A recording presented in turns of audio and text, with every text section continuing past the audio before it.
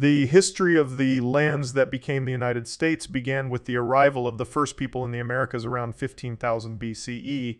Numerous indigenous cultures formed, and many saw transformations in the 16th century away from more densely populated lifestyles and towards reorganized polities elsewhere. The European colonization of the Americas began in the late 15th century. However, most colonies in what would later become the United States were settled after 1600. By the 1760s, the 13 British colonies contained 2.5 million people and were established along the Atlantic coast east of the Appalachian Mountains. The southern colonies built an agricultural system on slave labor, importing slaves from Africa for this purpose. After defeating France, the British government imposed a series of taxes, including the Stamp Act of 1765, rejecting the colonists' constitutional argument that new taxes needed their approval. Resistance to these taxes, especially the Boston Tea Party in 1773, led to Parliament issuing punitive laws designed to end self government. Armed conflict began in Massachusetts in 1775. In 1776, in Philadelphia, the Second Continental Congress declared the independence of the colonies as the United States. Led by General George Washington, it won the Revolutionary War. The Peace Treaty of 1783 established the borders of the new sovereign state. The Articles of Confederation established a central government, but it was ineffectual at providing stability as it could not collect taxes and had no executive officer. A convention wrote a new constitution that was adopted in 1789, and a Bill of Rights was added in 1790, one to guarantee inalienable rights. With Washington as the first president and Alexander Hamilton his chief advisor, a strong central government was created. Purchase of the Louisiana Territory from France in 1803 doubled the size of the United States. Encouraged by the notion of manifest destiny, the United States expanded to the Pacific coast. While the nation was large in terms of area, its population in 1790 was only 4 million. Westward expansion was driven by a quest for inexpensive land for yeoman farmers and slave owners. The expansion of slavery was increasingly controversial and fueled political and constitutional battles, which were resolved by compromises. Slavery was abolished in all states north of the Mason Dixon line by 1804, but states in the South continued the institution to support the kinds of large-scale agriculture that dominated the Southern economy. Precipitated by the election of Abraham Lincoln as president in 1860, the Civil War began as the Southern states seceded from the Union to form their own pro-slavery country, the Confederate States of America. The defeat of the Confederates in 1865 led to the abolition of slavery. In the Reconstruction era following the war, legal and voting rights were extended to freed male slaves. The national government emerged much stronger and gained explicit duty to protect individual rights. However, when white Southern Democrats regained their political power in the South in 1877, often by paramilitary suppression of voting, they passed Jim Crow laws to maintain white supremacy, as well as new state constitutions that legalized discrimination based on race and prevented most African Americans from participating in public life. The United States became the world's leading industrial power at the turn of the 20th century due to an outburst of entrepreneurship and industrialization and the arrival of millions of immigrant workers and farmers. A national railroad network was completed and large scale mines and factories were established. Mass dissatisfaction with corruption, inefficiency, and traditional politics stimulated the progressive movement from the 1890s to the 1920s, leading to reforms including the federal income tax, direct election of senators, granting of citizenship to many indigenous people, alcohol prohibition, and women's suffrage. Initially neutral during World War I, the United States declared war on Germany in 1917 and funded the Allied victory the following year. After the prosperous Roaring Twenties, the Wall Street crash of 1929 marked the onset of the decade-long worldwide Great Depressions. President Franklin D. Roosevelt implemented his New Deal programs, including relief for the unemployed, support for farmers, Social Security, and a minimum wage. The New Deal defined modern American liberalism. Following the Japanese attack on Pearl Harbor, the United States entered World War II and financed the Allied war effort and helped defeat Nazi Germany and Fascist Italy in the European theater. Its involvement culminated in using newly American invented nuclear weapons on Hiroshima and Nagasaki to defeat Imperial Japan in the Pacific War. The United States and the Soviet Union emerged as rival superpowers in the aftermath of World War II. During the Cold War, the two countries confronted each other indirectly in the arms race, the space race, propaganda campaigns, and proxy wars. In the 1960s, in large part due to the strength of the civil rights movement, another wave of social reforms was enacted which enforced the constitutional rights of voting and freedom of movement to African Americans. In the 1980s, Ronald Reagan's presidency realigned American politics towards reductions in taxes and regulations. The Cold War ended when the Soviet Union was dissolved in 1991, leaving the United States as the world's sole superpower. Foreign policy after the Cold War has often focused on many conflicts in the Middle East, especially after the September 11 attacks. Early in the 21st century, the United States experienced the Great Recession and the COVID-19 pandemic, which had a negative effect on the local economy. It is not definitively known how or when Native Americans first settled the Americas in the present-day United States. The prevailing theory proposes that people from Eurasia followed game across Beringia, a land bridge that connected Siberia to present-day Alaska during the Ice Age, and then spread southward throughout the Americas. This migration may have begun as early as 30,000 years ago and continued through to about 10,000 years ago when the land bridge became submerged by the rising sea level caused by the melting glaciers. These early inhabitants, called Paleo Indians, soon diversified into hundreds of culturally distinct settlements and countries. This pre-Columbian era incorporates all periods in the history of the Americas before the appearance of European influences on the American continents, spanning from the original settlement in the Upper Paleolithic period to European colonization during the early modern period. While the term technically refers to the era before Christopher Columbus' voyage in 1492, in practice the term usually includes the history of American indigenous cultures until they were conquered or significantly influenced by Europeans, even if this happened decades or centuries after. Columbus's initial landing by 10,000 BCE, humans were relatively well established throughout North America. Originally, Paleo Indians hunted Ice Age megafauna like mammoths, but as they began to go extinct, people turned instead to bison as a food source. As time went on, foraging for berries and seeds became an important alternative to hunting. Paleo Indians in central Mexico were the first in the Americas to farm, starting to plant corn, beans, and squash around 8000 BCE. Eventually, the knowledge began to spread northward. By 3000 BCE, Corn was being grown in the valleys of Arizona and New Mexico, followed by primitive irrigation systems in early villages of the Hohokam. One of the earlier cultures in the present-day United States was the Clovis culture, who are primarily identified by the use of fluted spear, points called the Clovis point. From 9,100 to 8,850 BCE. The culture ranged over much of North America and also appeared in South America, Artifacts from this culture were first excavated in 1932 near Clovis, New Mexico. The Folsom culture was similar, but is marked by the use of the Folsom point.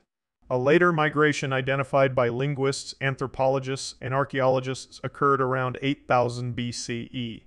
This included Na-Dene-speaking peoples who reached the Pacific Northwest by 5000 BCE. From there, they migrated along the Pacific coast and into the interior and constructed large multi-family dwellings in their villages, which were used only seasonally in the summer to hunt and fish, and in the winter to gather food supplies. Another group, the Oshara tradition people, who lived from 5500 BCE to 600 CE, were part of the archaic Southwest. The Adena began constructing large earthwork mounds around 600 BCE, they are the earliest known people to have been mound builders, however. There are mounds in the United States that predate this culture. Watson Brake is an 11 mound complex in Louisiana that dates to 3500 BCE and nearby Poverty Point, built by the Poverty Point culture, is an earthwork complex that dates to 1700 BC. These mounds-like lie served a religious purpose. The Adenans were absorbed into the Hopewell tradition, a powerful people who traded tools and goods across a wide territory. They continued the Adena tradition of mound building with remnants of several thousand still in existence across the core of their former territory in southern Ohio. The Hopewell pioneered a trading system called the Hopewell Exchange System, which at its greatest extent ran from the present day southeast up to the Canadian side of Lake Ontario. By 500 CE, the Hopewellians had too disappeared, absorbed into the larger Mississippian culture. The Mississippians were a broad group of tribes. Their most important city was Cahokia near modern-day St. Louis, Missouri. At its peak in the 12th century, the city had an estimated population of 20,000, larger than the population of London at the time. The entire city was centered around a mound that stood 100 feet, 30 m tall. Cahokia, like many other cities and villages of the time, depended on hunting, foraging, trading, and agriculture and developed a class system with slaves and human sacrifice that was influenced by societies to the south, like the Mayans. In the southwest, the Anasazi began constructing stone and adobe pueblos around 900 BCE. These apartment-like structures were often built into cliff faces, as seen in the Cliff Palace at Mesa Verde. Some grew to be the size of cities, with Pueblo Bonito along the Chaco River in New Mexico, once consisting of 800 rooms. The indigenous peoples of the Pacific Northwest were likely the most affluent Native Americans. Many distinct cultural groups and political entities developed there, but they all shared certain beliefs, traditions, and practices, such as the centrality of salmon as a resource and spiritual symbol. Permanent villages began to develop in this region as early as 1000 BCE, and these communities celebrated by the gift, giving feast of the potlatch. These gatherings were usually organized to commemorate special events such as the raising of a totem pole or the celebration of a new chief. In present-day upstate New York, the Iroquois formed a confederacy of tribal peoples in the mid-15th century consisting of the Oneida, Mohawk, Onondaga, Cayuga, and Seneca. Their system of affiliation was a kind of federation, different from the strong, centralized European monarchies. Each tribe had seats in a group of 50 Sachem chiefs. It has been suggested that their culture contributed to political thinking during the development of the United States government. The Iroquois were powerful, waging war with many neighboring tribes and later Europeans. As their territory expanded, smaller tribes were forced further west, including the Osage, Kaw, Ponca, and Omaha peoples. The exact date for the settling of Hawaii is disputed, but the first settlement most likely took place between 940 and 1130 CEE. Around 1200 CEEI, Tahitian explorers found and began settling the area, as well establishing a new caste system. This marked the rise of the Hawaiian civilization, which would be largely separated from the rest of the world until the arrival of the British 600 years later. Europeans under the British explorer James Cook arrived in the Hawaiian Islands in 1778, and within five years of contact, European military technology would help Kamehameha conquer most of the island group and eventually unify the island group and eventually unify the islands for the first time, establishing the Hawaiian Kingdom. The island of Puerto Rico has been settled for at least 4,000 years dating back to the remains of Puerto Ferro man. Starting with the Ortoiroid culture, successive generations of native migrations arrive replacing or absorbing local populations by the year 1000, Arawak people had arrived from South America via the Lesser Antilles. These settlers would become the Taino encountered by the Spanish in 1493. Upon European contact, a native population between 30,000 and 60,000 was likely, led by a single chief called a cacique. Colonization resulted in the decimation of the local inhabitants due to the harsh encomienda system and epidemics caused by Old World diseases. Puerto Rico would remain a part of Spain until American annexation in 1898. The earliest recorded European mention of America is in a historical treatise by the medieval chronicler Adam of Bremen, circa 1075, where it is referred to as Vinland. It is also extensively referred to in the 13th century Norse Vinland sagas, which relate to events which occurred around 1000. Whilst the strongest archaeological evidence of the existence of Norse settlements in America is located in Canada, most notably at L'Anse aux Meadows and dated to circa 1000, there is significant scholarly debate as to whether Norse explorers also made landfall in New England and other East Coast areas. In 1925, President Calvin Coolidge declared that a Norse explorer called Leif Erikson, c. 970, c. 970, c. 1020, was the first European to discover America.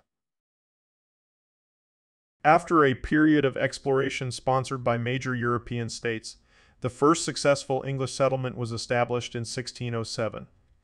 Europeans brought horses, cattle, and hogs to the Americas and in turn took back maize, turkeys, tomatoes, potatoes, potatoes, tobacco, beans, and squash to Europe.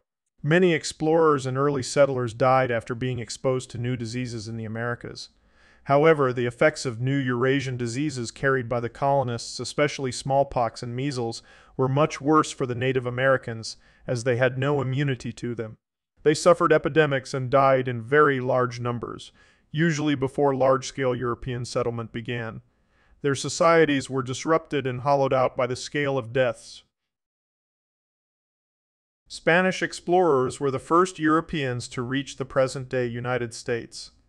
After Christopher Columbus's expeditions, beginning in 1492, established possessions in the Caribbean, including the modern-day U.S., territories of Puerto Rico, and parts of the U.S. Virgin Islands. Juan Ponce de Leon landed in Florida in 1513. Spanish expeditions quickly reached the Appalachian Mountains, the Mississippi River, the Grand Canyon, and the Great Plains. In 1539, Hernando de Soto extensively explored the southeast, and a year later, Francisco Coronado explored from Arizona to central Kansas in search of gold. Escaped horses from Coronado's party spread over the Great Plains, and the Plains Indians mastered horsemanship within a few generations. Small Spanish settlements eventually grew to become important cities such as San Antonio, Albuquerque, Tucson, Los Angeles, and San Francisco. The Dutch West India Company sent explorer Henry Hudson to search for a northwest passage to Asia in 1609. New Netherland was established in 1620, won by the company to capitalize on the North American fur trade. Growth was slow at first due to mismanagement by the Dutch and Native American conflicts. After the Dutch purchased the island of Manhattan from the Native Americans for a reported price of US $24, the land was named New Amsterdam and became the capital of New Netherland. The town rapidly expanded and in the mid-1600s it became an important trading center and port. Despite being Calvinists and building the Reformed Church in America, the Dutch were tolerant of other religions and cultures and traded with the Iroquois to the north. The colony served as a barrier to British expansion from New England, and as a result, a series of wars were fought. The colony was taken over by Britain as New York in 1664, and its capital was renamed New York City. New Netherland left an enduring legacy on American cultural and political life of religious tolerance and sensible trade in urban areas and rural traditionalism in the countryside, typified by the story of Rip Van Winkle. Notable Americans of Dutch descent include Martin Van Buren, Theodore Roosevelt, Franklin D. Roosevelt, Eleanor Roosevelt, and the Frelinghuysen's. In the early years of the Swedish Empire, Swedish, Dutch, and German stockholders formed the New Sweden Company to trade furs and tobacco in North America. The company's first expedition was led by Peter Minuit, who had been governor of New Netherland from 1626 to 1630 won but left after a dispute with the Dutch government and landed in Delaware Bay in March 1638. The settlers founded Fort Christina at the site of modern-day Wilmington, Delaware, and made treaties with the indigenous groups for land ownership on both sides of the Delaware River. Over the following 17 years, 12 more expeditions brought settlers from the Swedish Empire, which also included contemporary Finland, Estonia, and portions of Latvia, Norway, Russia, Poland, and Germany. To New Sweden, the colony established 19 permanent settlements along with many farms, extending into modern-day Maryland, Pennsylvania, and New Jersey. It was incorporated into New Netherland in 1655 after a Dutch invasion from the neighboring New Netherland colony during the Second Northern War. Giovanni de Verrazzano landed in North Carolina in 1524 and was the first European to sail into New York Harbor and Narragansett Bay. A decade later, Jacques Cartier sailed in search of the Northwest Passage, but instead discovered the St. Lawrence River and laid the foundation for French colonization of the Americas in New France. After the collapse of the first Quebec colony in the 1540s, French Huguenots settled at Fort Caroline near present day Jacksonville in Florida. In 1565, Spanish forces led by Pedro Menendez destroyed the settlement and established the first European settlement in what would become the United States, St. Augustine. After this, the French mostly remained in Quebec and Acadia, but far-reaching trade relationships with Native Americans throughout the Great Lakes and Midwest spread their influence. French colonists in small villages along the Mississippi and Illinois rivers lived in farming communities that served as a grain source for Gulf Coast settlements. The French established plantations in Louisiana along with settling New Orleans, Mobile, and Biloxi. The English drawn in by Francis Drake's raids on Spanish treasure ships leaving the New World, settled the strip of land along the east coast in the 1600s. The first British colony in North America was established at Roanoke by Walter Raleigh in 1585, but failed. It would be 20 years before another attempt. The early British colonies were established by private groups seeking profit and were marked by starvation, disease, and Native American attacks. Many immigrants were people seeking religious freedom or escaping political oppression, peasants displaced by the Industrial Revolution, or those simply seeking adventure and opportunity. Between the late 1610s and the Revolution, the British shipped an estimated 50,000 to 120,000 convicts to their American colonies. In some areas, Native Americans taught colonists how to plant and harvest the native crops. In others, they attacked the settlers. Virgin forest provided an ample supply of building material and firewood. Natural inlets and harbors lined the coast, providing easy ports for essential trade with Europe. Settlements remained close to the coast due to this as well as Native American resistance and the Appalachian Mountains that were found in the interior. The first successful English colony, Jamestown, was established by the Virginia Company in 1607 on the James River in Virginia. The colonists were preoccupied with the search for gold and were ill. Equipped for life in the New World. Captain John Smith held the fledgling Jamestown together in the first year, and the colony descended into anarchy and nearly failed when he returned to England two years later. John Rolfe began experimenting with tobacco from the West Indies in 1612, and by 1614 the first shipment arrived in London. It became Virginia's chief source of revenue within a decade. In 1624, after years of disease and Indian attacks, including the Powhatan attack of 1622, King James I revoked the Virginia Company's charter and made Virginia Company's charter and made Virginia a royal colony. New England was initially settled primarily by Puritans fleeing religious persecution. The Pilgrims sailed for Virginia on the Mayflower in 1620, but were knocked off course by a storm and landed at Plymouth, where they agreed to a social contract of rules in the Mayflower Compact. Like Jamestown, Plymouth suffered from disease and starvation, but local Wampanoag Indians taught the colonists how to farm maize. Plymouth was followed by the Puritans in Massachusetts Bay Colony in 1630. They maintained a charter for self-government separate from England and elected founder John Winthrop as the governor for most of its early years. Roger Williams opposed Winthrop's treatment of Native Americans and religious intolerance and established the colony of Providence Plantations, later Rhode Island, on the basis of freedom of religion. Other colonists established settlements in the Connecticut River Valley and on the coasts of present-day New Hampshire and Maine. Native American attacks continued, with the most significant occurring in the 1637 Pequot War and the 1637 Pequot War and the 1675 King Philip's War. New England became a center of commerce and industry due to the poor mountainous soil making agriculture difficult. Rivers were harnessed to power grain mills and sawmills, and the numerous harbors facilitated trade.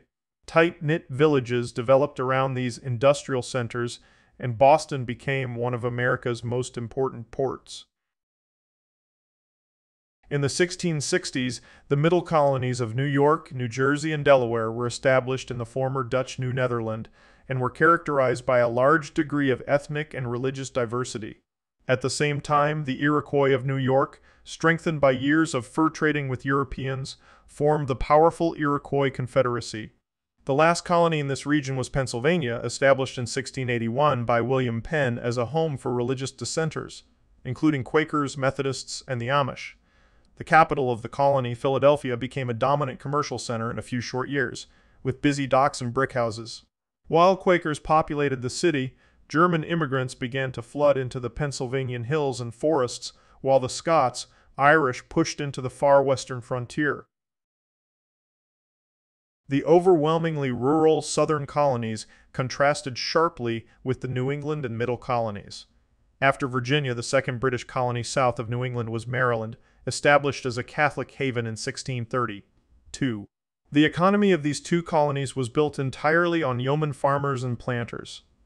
The planters established themselves in the Tidewater region of Virginia, establishing massive plantations with slave labor. In 1670, the province of Carolina was established, and Charleston became the region's great trading port. While Virginia's economy was also based on tobacco, Carolina was more diversified, exporting rice, indigo, and lumber as well. In 1712, it was divided in two, creating North and South Carolina. The Georgia colony, the last of the 13 colonies, was established by James Oglethorpe in 1732 as a border to Spanish Florida and a reform colony for former prisoners and the poor. Religiosity expanded greatly after the First Great Awakening, a religious revival in the 1740s, which was led by preachers such as Jonathan Edwards and George Whitefield. American evangelicals affected by the awakening added a new emphasis on divine outpourings of the Holy Spirit and conversions that implanted new believers with an intense love for God. Revivals encapsulated those hallmarks and carried the newly created evangelicalism into the early republic, setting the stage for the Second Great Awakening in the late 1790s. In the early stages, evangelicals in the South, such as Methodists and Baptists, preached for religious freedom and abolition of slavery. They converted many slaves and recognized some as preachers. Each of the 13 American colonies had a slightly different governmental structure. Typically, a colony was ruled by a governor appointed from London who controlled the executive administration and relied upon a locally elected legislature to vote on taxes and make laws. By the 18th century, the American colonies were growing very rapidly as a result of low death rates, along with ample supplies of land and food. The colonies were richer than most parts of Britain and attracted a steady flow of immigrants, especially teenagers who arrived as indentured servants. Over half of all European immigrants to colonial America arrived as indentured servants. Few could afford the cost of the journey to America, and so this form of unfree labor provided a means to immigrate. Typically, people would sign a contract agreeing to a set term of labor, usually four to seven years, and in return would receive transport to America and a piece of land at the end of their servitude. In some cases, ships' captains received rewards for the delivery of poor migrants, and so extravagant promises and kidnapping were common. The Virginia Company and the Massachusetts Bay Company also used indentured servant labor. The first African slaves were brought to Virginia in 1619, just 12 years after the founding of Jamestown. Initially regarded as indentured servants who could buy their freedom, the institution of slavery began to harden and the involuntary servitude became lifelong as the demand for labor on tobacco and rice plantations grew in the 1660s. Slavery became identified with brown skin color, at the time seen as a black race, and the children of slave women were born slaves partus sequitur ventrum. By the 1770s, African slaves comprised a fifth of the American population. The question of independence from Britain did not arise as long as the colonies needed British military support against the French and Spanish powers. Those threats were gone by 1765. However, London continued to regard the American colonies as existing for the benefit of the mother country in a policy known as mercantilism. Colonial America was defined by a severe labor shortage that used forms of unfree labor shortage that used forms of unfree labor such as slavery and indentured servitude. The British colonies were also marked by a policy of avoiding strict enforcement of parliamentary laws, known as salutary neglect. This permitted the development of an American spirit distinct from that of its European founders. An upper class emerged in South Carolina and Virginia with wealth based on large plantations operated by slave labor. A unique class system operated in upstate New York where Dutch tenant farmers rented land from very wealthy Dutch proprietors, such as the Van Rensselaer family. The other colonies were more egalitarian, with Pennsylvania being representative. By the mid 18th century, Pennsylvania was basically a middle class colony with limited respect for its small upper class. A writer in the Pennsylvania Journal in 1756 wrote, The people of this province are generally of the middling sort, and at present pretty much upon a level. They are chiefly industrious farmers, artificers, or men in trade. They enjoy and are fond of freedom, and the meanest among them thinks he has a right to civility from the greatest. The French and Indian War, 1754 1763, part of the larger Seven Years' War, was a watershed event in the political development of the colonies. The influence of the French and Native Americans, the main rivals of the British Crown in the colonies in Canada, was significantly reduced and the territory of the 13 colonies expanded into New France, both in Canada and Louisiana. The war effort also resulted in greater political integration of the colonies as reflected in the Albany Congress and symbolized by Benjamin Franklin's call for the colonies to join or die. Franklin was a man of many inventions, one of which was the concept of a United States of America, which emerged after 1765 and would be realized a decade later. Following Britain's acquisition of French territory in North America, King George III issued the Royal Proclamation of 1763, with the goal of organizing the new North American empire and protecting the Native Americans from colonial expansion into western lands beyond the Appalachian Mountains. In the following years, strains developed in the relations between the colonists and the Crown. The British Parliament passed the Stamp Act of 1765, imposing a tax on the colonies without going through the colonial legislatures. The issue was drawn. Did Parliament have the right to tax Americans who were not represented in it? crying no taxation without representation, the colonists refused to pay the taxes as tensions escalated in the late 1760s and early 1770. The Boston Tea Party in 1773 was a direct action by activists in the town of Boston to protest against the new tax on tea. Parliament quickly responded the next year with the Intolerable Acts, stripping Massachusetts of its historic right of self-government and putting it under military rule, which sparked outrage and resistance in all 13 colonies. Patriot leaders from every colony convened the First Continental Congress to coordinate their resistance to the intolerable acts. The Congress called for a boycott of British trade, published a list of rights and grievances, and petitioned the king to rectify those grievances. And petitioned the king to rectify those grievances. This appeal to the crown had no effect, though and so the Second Continental Congress was convened in 1775 to organize the defense of the colonies against the British Army. Common people became insurgents against the British, even though they were unfamiliar with the ideological rationales being offered. They held very strongly a sense of rights, that they felt the British were deliberately violating, rights that stressed local autonomy, fair dealing, and government by consent. They were highly sensitive to the issue of tyranny, which they saw manifested by the arrival in Boston of the British Army to punish the Boston of the British Army to punish the Bostonians. This heightened their sense of violated rights, leading to rage and demands for revenge, and they had faith that God was on their side. The Second Continental Congress voted to declare independence on July 2, 1776, and the Declaration of Independence was drafted by the Committee of Five. The Declaration of Independence presented arguments in favor of the rights of citizens, stating that all men are created equal, supporting the rights of life, liberty, and the pursuit of happiness, and demanding the consent of the governed. It also listed grievances against the Crown. The Founding Fathers were guided by the ideology of republicanism, rejecting the monarchism of Great Britain. The Declaration of Independence was signed by members of the Congress on July 4, this date has since been commemorated as Independence Day. The American Revolutionary War began with the battles of Lexington and Concord when American and British forces clashed on April 19, 1775. George Washington was appointed General of the Continental Army. The New York and New Jersey campaign was the first major campaign of the war, beginning in 1776. Washington's crossing of the Delaware River began a series of victories that expelled British forces from New Jersey.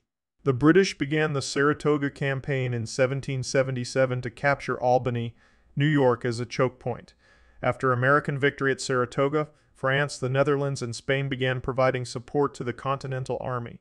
Britain responded to defeat in the Northern Theater by advancing in the Southern Theater, beginning with the capture of Savannah in 1778.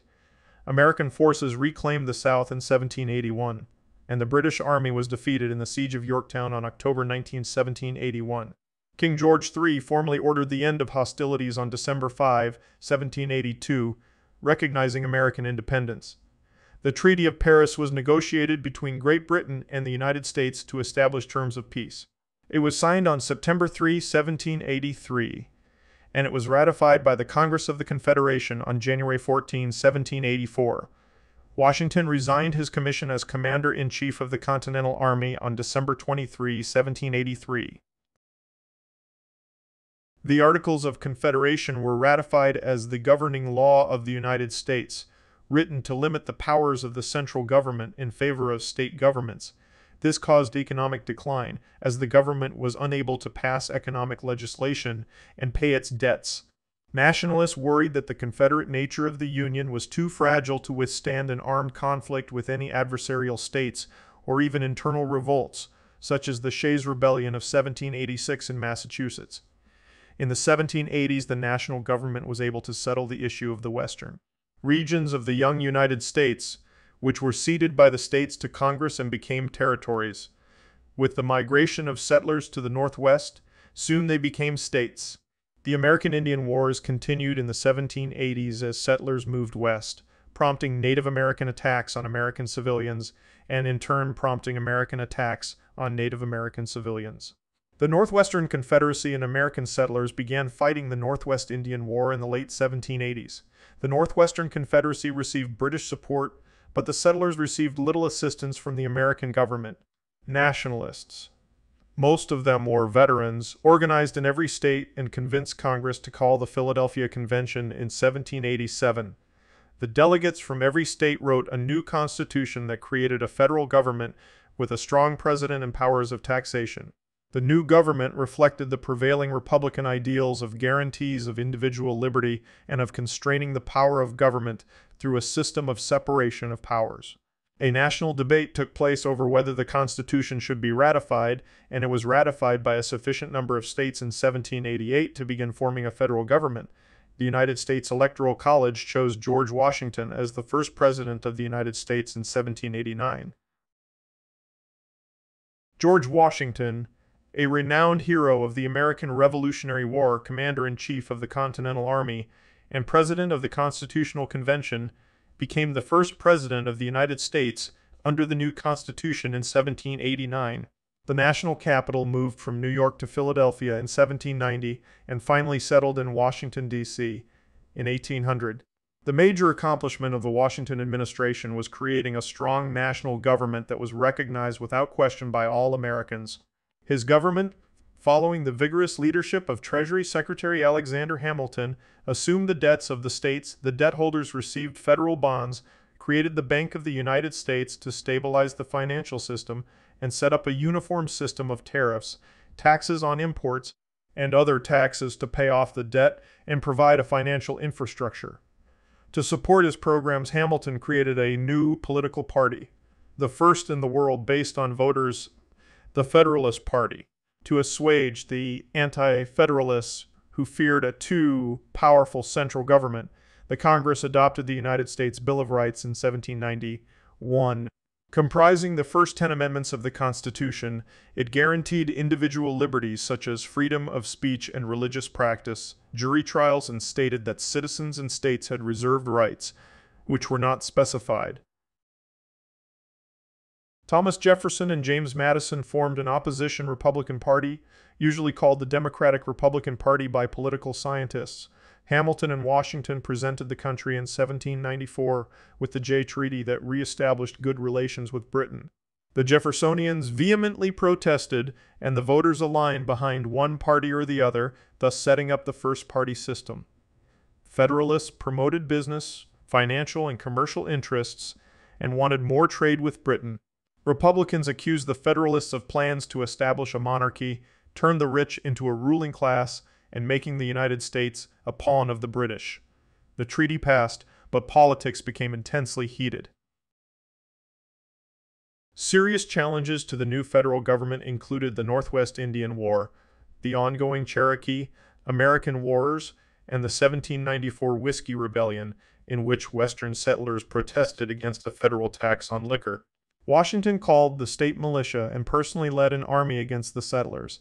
As the insurgents melted away and the power of the federal government was firmly established, Washington refused to serve more than two terms, setting a precedent and in his famous farewell address, he extolled the benefits of federal government and importance of ethics and morality while warning against foreign alliances and the formation of political parties. John Adams, a Federalist, defeated Jefferson in the 1796 election. War loomed with France, and the Federalists used the opportunity to try to silence the Republicans with the Alien and Sedition Acts, build up a large army with Hamilton at the head, and prepare for a French invasion. However, the Federalists became divided after Adams sent a successful peace mission to France that ended the Quasi-War of 1798. During the first two decades after the Revolutionary War, there were dramatic changes in the status of slavery among the states and an increase in the number of freed blacks. Inspired by revolutionary ideals of the equality of men and influenced by their lesser economic reliance on slavery, northern states abolished slavery. States of the Upper South made manumission easier, resulting in an increase in the proportion of free blacks in the Upper South as a percentage of the total non-white population from less than 1% in 1792 to more than 10% by 1810. By that date, a total of 13.5% of all blacks in the United States were free. After that date, with the demand for slaves on the rise because of the Deep South's expanding cotton cultivation, the number of manumissions declined sharply. In an internal U.S., slave trade became an important source of wealth for many planters and traders. In 1807, with 4 million slaves already in the United States, Congress severed the U.S.'s involvement with the Atlantic slave trade. Jefferson defeated Adams massively for the presidency in the 1800 election. Jefferson's major achievement as president was the Louisiana Purchase in 1803, which provided U.S. settlers with vast potential for expansion west of the Mississippi River. Jefferson, a scientist, supported expeditions to explore and map the new domain, most notably the Lewis and Clark expedition. Jefferson believed deeply in republicanism and argued it should be based on the independent yeoman farmer and planter. He distrusted cities, factories, and banks. He also distrusted the federal government and judges and tried to weaken the judiciary. However, he met his match in John Marshall, a Federalist from Virginia. Although the Constitution specified a Supreme Court, its functions were vague until Marshall, the Chief Justice of the United States, 1801 1835, defined them, especially the power to overturn acts of Congress or states that violated the Constitution, first enunciated in 1803 in Marbury v. Madison. Americans were increasingly angry at the British violation of American ships' neutral rights to hurt France, the impressment seizure of 10,000 American sailors needed by the Royal Navy to fight Napoleon, and British support for hostile Indians attacking American settlers in the American Midwest, with the goal of creating a pro-British Indian barrier state to block American expansion westward. They may also have desired to annex all or part of British North America, although this is still heavily debated. Despite strong opposition from the Northeast, especially from Federalists who did not want to disrupt trade with Britain, Congress declared war on June 18, 1812. The war was frustrating for both sides. Both sides tried to invade the other and were repulsed. The American High Command remained incompetent until the last year. The American militia proved ineffective because the soldiers were reluctant to leave home and efforts to invade Canada repeatedly failed. The British blockade ruined American commerce, bankrupted the treasury, and further angered New Englanders who smuggled supplies to Britain. The Americans under General William Henry Harrison finally gained naval control of Lake Erie and defeated the Indians under Tecumseh in Canada, while Andrew Jackson ended the Indian threat in the southeast. The Indian threat to expansion into the Midwest was permanently ended. The British invaded and occupied much of Maine. The British raided and burned Washington but were repelled at Baltimore in 1814, where the Star Spangled Banner was written to celebrate the American success. In upstate New York, a major British invasion of New York State was turned back at the Battle of Plattsburgh. Finally, in early 1815, Andrew Jackson decisively defeated a major British invasion at the Battle of New Orleans, making him the most famous war hero. With Napoleon apparently gone, the currently gone, the causes of the war had evaporated, and both sides agreed to a peace that left the pre-war boundaries intact. Americans claimed victory on February 18, 1815, as news came almost simultaneously of Jackson's victory of New Orleans and the peace treaty that left the pre-war boundaries in place. Americans swelled with pride at success in the Second War of Independence. The naysayers of the anti-war Federalist Party were put to shame and the party never recovered.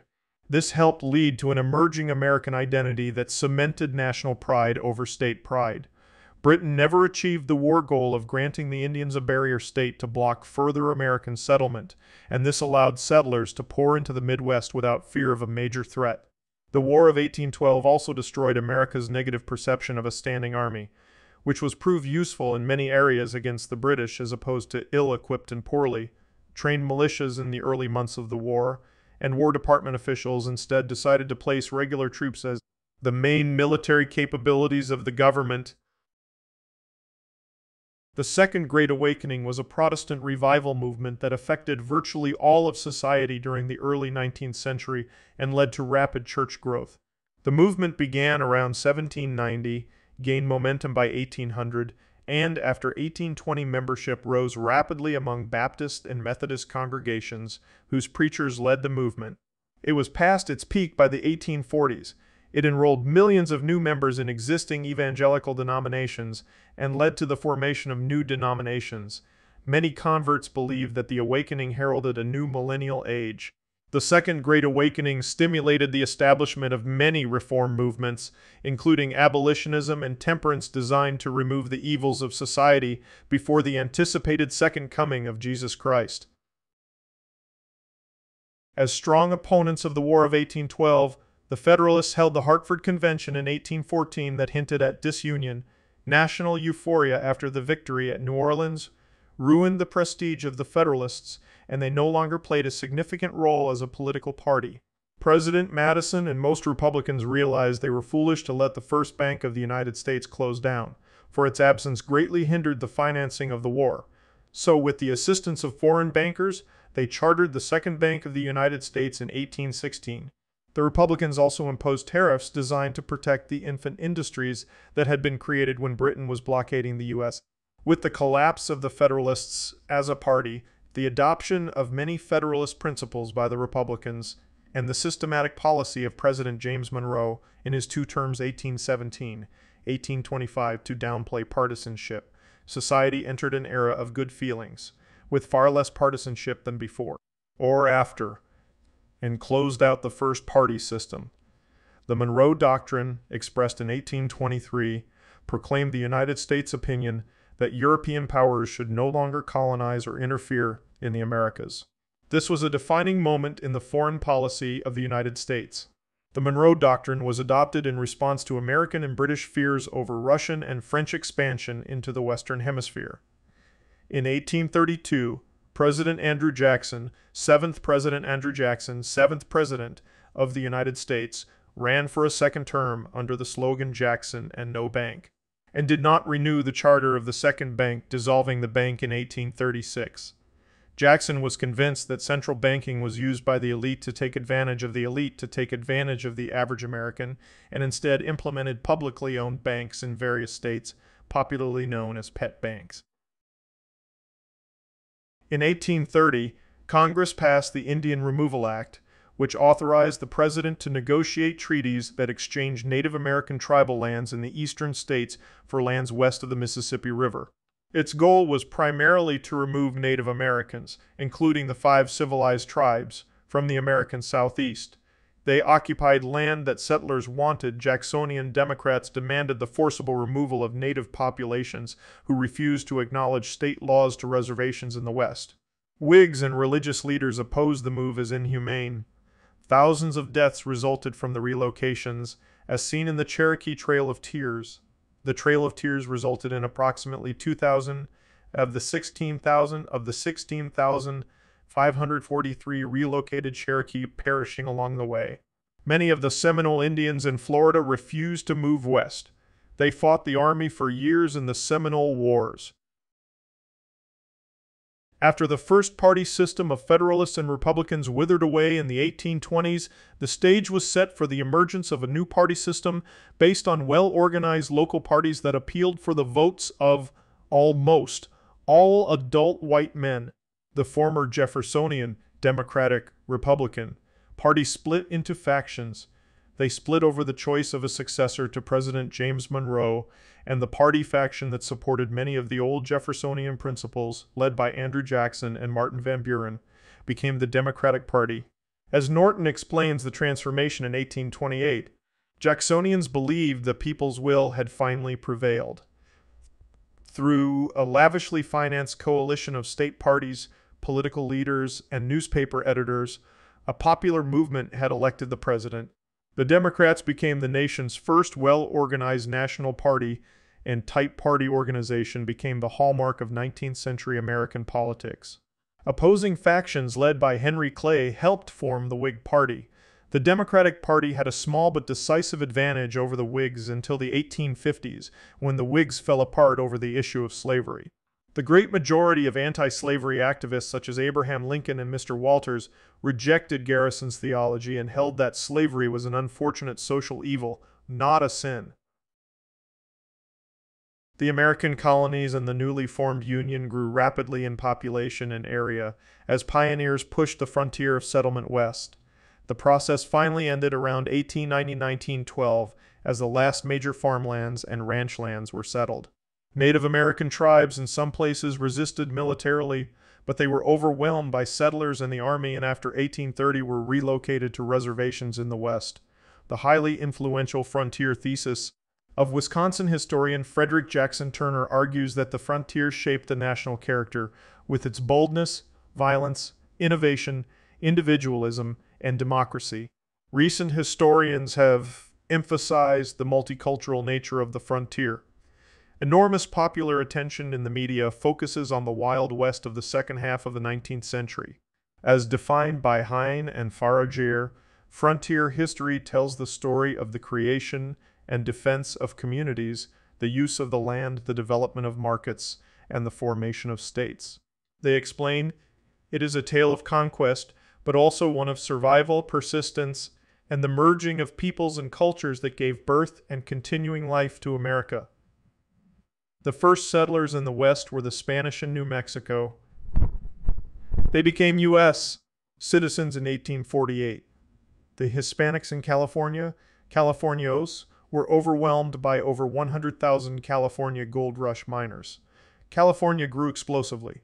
San Francisco by 1880 had become the economic hub of the entire Pacific coast with a diverse population of a quarter million. From the early 1830s to 1869, the Oregon Trail and its many offshoots were used by over 300,000 settlers. 49ers in the California gold rush, ranchers, farmers, and entrepreneurs and entrepreneurs and their families headed to California, Oregon, and other points in the far west. Wagon trains took five or six months on foot. After 1869, the trip took six days by rail, Manifest destiny was the belief that American settlers were destined to expand across the continent. This concept was born out of a sense of mission to redeem the old world by high example, generated by the potentialities of a new earth for building a new heaven. Manifest destiny was rejected by modernizers, especially the Whigs like Henry Clay and Abraham Lincoln, who wanted to build cities and factories, not more farms. Democrats strongly favored expansion and won the key election of 1844. After a bitter debate in Congress, the Republic of Texas was annexed in 1845, leading to war with Mexico, who considered Texas to be a part of Mexico due to the large numbers of Mexican settlers. The Mexican American War, 1846 1848, broke out with the Whigs opposed to the war and the Democrats supporting the war. The U.S. Army, using regulars and large numbers of volunteers, defeated the Mexican armies, invaded at several points, captured Mexico City and won decisively. The Treaty of Guadalupe Hidalgo ended the war in 1848. Many Democrats wanted to annex all of Mexico, but that idea was rejected by white Southerners who argued that by incorporating millions of Mexican people, mainly of mixed race, would undermine the United States as an exclusively white republic. Instead, the U.S. took Texas and the lightly settled northern parts, California, and New Mexico. The Hispanic residents were given full citizenship, and the Mexican Indians became American Indians. Simultaneously, gold was discovered in California in 1849, attracting over 100,000 men to Northern California in a matter of months in the California Gold Rush. To clear the state for settlers, the U.S. government began a policy of extermination since termed the California Genocide a peaceful compromise with Britain gave the U.S. Ownership of the Oregon Country, which was renamed the Oregon Territory, the demand for guano, prized as an agricultural fertilizer, led the United States to pass the Guano Islands Act in 1856, which enabled citizens of the United States to take possession in the name of the United States unclaimed islands containing guano deposits. Under the act, the United States annexed nearly 100 islands in the Pacific Ocean, and the Caribbean Sea. By 1903, 66 of these islands were recognized as territories of the United States. The central issue after 1848 was the expansion of slavery, with the anti-slavery elements in the North pitted against the pro-slavery elements that dominated the South. A small number of active Northerners were abolitionists who declared that ownership of slaves was a sin in terms of Protestant theology and demanded its immediate abolition. Much larger numbers in the North were against the expansion of slavery, seeking to put it on the path to extinction so that America would be committed to free land, as in low cost farms owned and cultivated by a family, free labor, and free speech, as opposed to censorship of abolitionist material in the South. Southern white Democrats insisted that slavery was of economic, social, and cultural benefit to all whites, and even to the slaves themselves, and denounced all anti slavery spokesmen as abolitionists. Justifications of slavery included economics, history, religion, legality, social good, even humanitarianism. Defenders of slavery argued that the sudden end to the slave economy would have had a profound and fatal economic impact in the South, where reliance on slave labor was the foundation of their economy. They also argued that if all the slaves were freed, there would be widespread unemployment and chaos.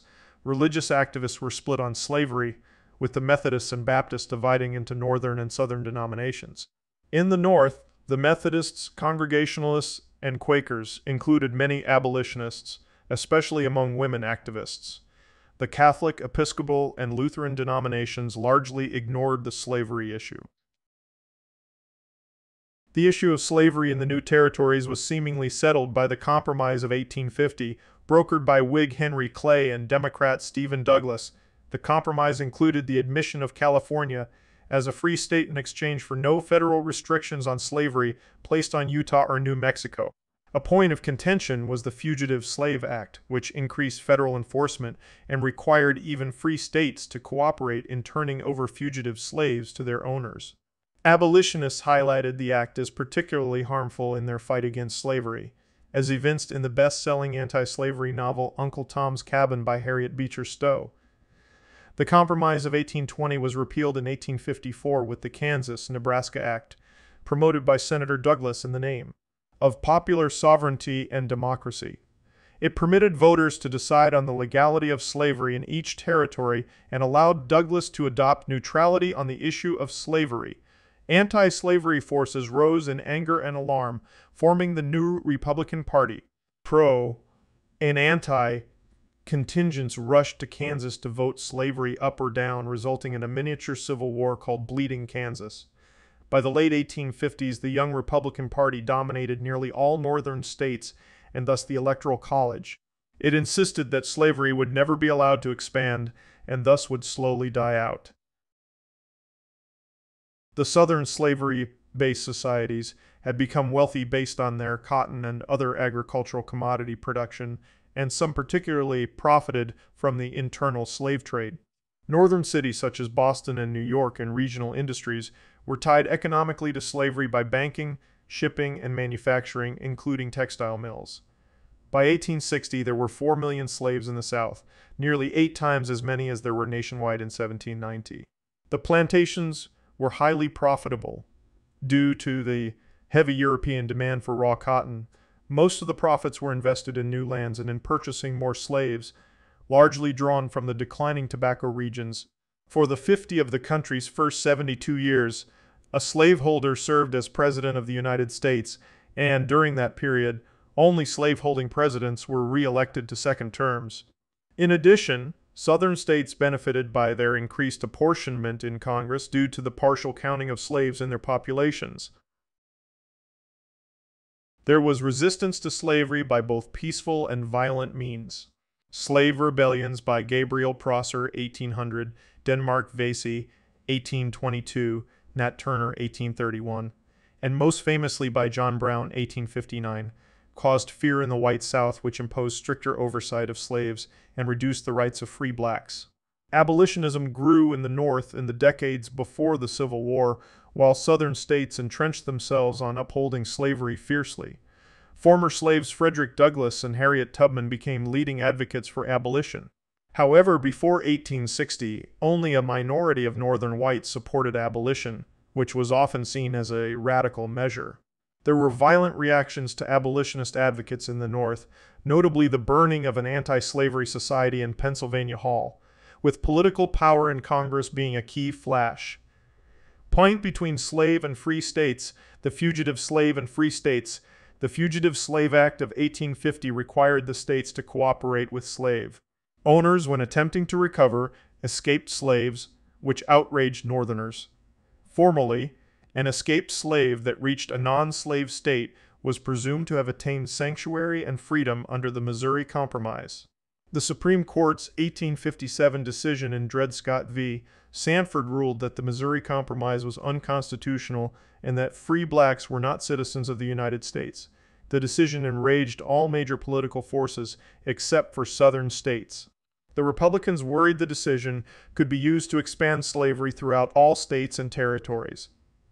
With Senator Abraham Lincoln leading criticism of the ruling, the stage was set for the 1860 presidential election. After Abraham Lincoln won the 1860 election, seven southern states seceded from the Union and set up a newly formed sovereign state, the Confederate States of America, Confederate States of America Confederacy, on February 8, 1861. It attacked Fort Sumter, a U.S. Army fort in South Carolina, thus igniting the war. When Lincoln called for troops to suppress the Confederacy in April 1861, four more states succeeded and joined the Confederacy. A few of the northernmost slave states did not secede and became known as the border states. These were Delaware, Maryland, Kentucky, and Missouri. During the war, the northwestern portion of Virginia seceded from the Confederacy, and became the new Union state of West Virginia. West Virginia is usually associated with the border states. The Civil War began April 12, 1861, when Confederate forces attacked a U.S. military installation at Fort Sumter in South Carolina. In response, Lincoln called on the states to send troops to recapture forts, protect the capital, and preserve the Union which in his view still existed intact despite the actions of the seceding states. The two armies had their first major clash at the First Battle of Bull Run, which proved to both sides that the war would be much longer and bloodier than originally anticipated. In the Western theater, the Union Army was relatively successful, with major battles such as Perryville and Shiloh, along with Union Navy gunboat dominance of navigable rivers producing strategic Union victories, and destroying major Confederate operations, warfare in the Eastern Theater began poorly for the Union. U.S. General George B. McClellan failed to capture the Confederate capital of Richmond, Virginia in his Peninsula Campaign and retreated after attacks from Confederate General Robert E. Lee. Meanwhile, both sides concentrated in 1861, 1862 on raising and training new armies. The main action was Union success in controlling the border states, with Confederates largely driven out of border states. The autumn 1862 Confederate retreat at the Battle of Antietam led to Lincoln's warning he would issue an Emancipation Proclamation in January 1863 if the states did not return. Making slavery a central war goal energized Republicans in the North, as well as their enemies, the anti-war Copperhead Democrats, and ended the chance of British and French intervention. Lee's smaller army of Northern Virginia won battles in late 1862 and spring 1862 and spring 1863 but he pushed too hard and ignored the Union threat in the West. Lee invaded Pennsylvania in search of supplies and to cause war. Weariness in the North. In perhaps the turning point of the war, Lee's army was badly beaten by the Army of the Potomac at the July 1860 three Battle of Gettysburg and barely made it back to Virginia. Survivors of the Battle of Gettysburg were immediately redeployed to suppress the New York City draft riots by Irish Americans, first resisting Civil War conscription, but later out of racism against the city's free black population. In July 1863, Union forces under General Ulysses Grant gained control of the Mississippi River at the Battle of Vicksburg, thereby splitting the Confederacy. In 1864, Union General William Tecumseh Sherman marched south from Chattanooga to capture Atlanta, a decisive victory that ended war jitters among Republicans in the North and helped Lincoln win re-election. On the home front, industrial expansion in the North expanded dramatically, using its extensive railroad service and moving industrial workers into munitions factories. Foreign trade increased, with the United States providing both food and cotton to Britain, and Britain sending in manufactured products and thousands of volunteers for the Union Army, plus a few to the Confederate Army. The British operated blockade runners bringing in food, luxury items, and munitions to the Confederacy, bringing out tobacco and cotton. The Union blockade increasingly shut down Confederate ports, and by late 1864 the blockade runners were usually captured before they could make more than a handful of runs. The last two years of the war were bloody for both sides, with Sherman marching almost unopposed through southern states, burning cities, destroying plantations, ruining railroads and bridges, but avoiding civilian casualties. Sherman demonstrated that the South was unable to resist a Union invasion. Much of the Confederate heartland was destroyed and could no longer provide desperately needed supplies to its armies. In spring 1864, Grant launched a war of attrition and pursued Lee to the final Appomattox campaign, which resulted in Lee surrendering in April 1865. The American Civil War was the world's earliest industrial war. Railroads, the telegraph, steamships, and mass-produced weapons were employed extensively. The mobilization of civilian factories, mines, shipyards, banks, transportation, and food supplies all foreshadowed the impact of industrialization in World War I. It remains the deadliest war in American history, resulting in the deaths of about 750,000 soldiers and an undetermined number of civilian casualties about 10% of all northern males 20 45 years old and 30% of all southern white males aged 18 40 died.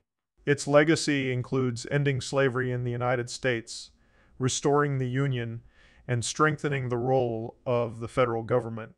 According to historian Allan Nevins, the Civil War had a major long-term impact on the United States in terms of developing its leadership potential and metaphorically moving the country beyond the adolescent stage the fighting and its attendant demands upon industry, finance, medicine, and law also helped train a host of leaders who during the next 35 years to 1900 made their influence powerfully felt on most of the social, economic, and cultural fronts. It broke down barriers of parochialism. It ended distrust of large-scale effort. It hardened and matured the whole people emotionally. The adolescent land of the 1850s rose under the blows of battle to adult estate, the nation of the post-Appomattox generation, though sadly hurt, especially in the South, by war losses and deeply scarred psychologically, especially in the North, by war hatreds and greeds, had at last the power, resolution, and self-trust of manhood. The Emancipation Proclamation was an executive order issued by President Abraham Lincoln on January 1, 1863. In a single stroke, it changed the legal status, as recognized by the U.S. Goddess, as recognized by the U.S. government, of 3 million slaves in designated areas of the Confederacy from slave to free. It had the practical effect that as soon as a slave escaped the control of the Confederate government, by running away or through advances of federal troops, the slave became legally and actually free. The owners were never compensated. Plantation owners, realizing that emancipation would destroy their economic system, sometimes moved their slaves as far as possible out of reach of the Union Army. By June 1865, the Union Army controlled all of the Confederacy and liberated all of the designated slaves. Large numbers moved into camps run by the Freedmen's Bureau, where they were given food, shelter, medical care, and arrangements for their employment were made. The severe dislocations of war and Reconstruction had a large negative impact on the black population, with a large amount of sickness and death. Reconstruction lasted from Lincoln's Emancipation Proclamation of January 1, 1863, to the Compromise of 1877. The major issues faced by Lincoln were the status of the ex-slaves freedmen, the loyalty and civil rights of ex-rebels, the status of the 11 ex-Confederate states, the powers of the 11 ex-Confederate states, the powers of the 11 ex-Confederal government needed to prevent a future civil war, and the question of whether Congress or the President would make the major decisions. The severe threats of starvation and displacement of the unemployed freedmen were met by the first major federal relief agency, the Freedmen's Bureau, operated by the Army. Three Reconstruction Amendments were passed to expand civil rights for black Americans. The 13th Amendment outlawed slavery. The 14th Amendment guaranteed equal rights for all and citizenship for blacks. The 15th Amendment prevented race from being used to disenfranchise men. Ex Confederates remained in control of most southern states for over two years, but changed when the radical Republicans gained control of Congress in the 1866 elections. President Andrew Johnson, who sought easy terms for reunions with ex-rebels, was virtually powerless in the face of the radical Republican Congress. He was impeached, but the Senate's attempt to remove him from office failed by one vote. Congress enfranchised black men and temporarily stripped many ex-Confederate leaders of the right to hold office. New Republican governments came to power based on a coalition of freedmen made up of carpetbaggers, new arrivals from the North, and scalawags, native white Southerners. They were backed by the U.S. Army. Opponents said they were corrupt and violated the rights of whites. State by state, the new Republicans lost power to a conservative Democratic coalition which gained control of the entire South by 1877. In response to radical Reconstruction, the Ku Klux Klan KKK, KK emerged in 1867 as a white supremacist organization opposed to black civil rights and Republican rule. President Ulysses Grant's vigorous enforcement of the Ku Klux Klan Act of 1870 shut down the Klan, and it disbanded. Paramilitary groups such as the White League and Red Shirts emerged about 1874 that worked openly to use intimidation and violence to suppress black voting to regain white political power in states across the South during the 1870s. One historian described them as the military arm of the Democratic Party. Reconstruction ended after the disputed 1876 election. The Compromise of 1877 gave Republican candidate Rutherford B. Hayes the White House in exchange for removing all remaining federal troops in the South. The federal government withdrew its troops from the South and Southern Democrats took control of every Southern state.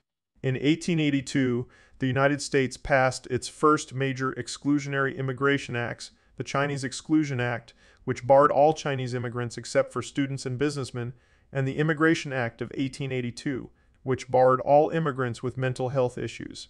From 1890 to 1900 Health Aid Southern.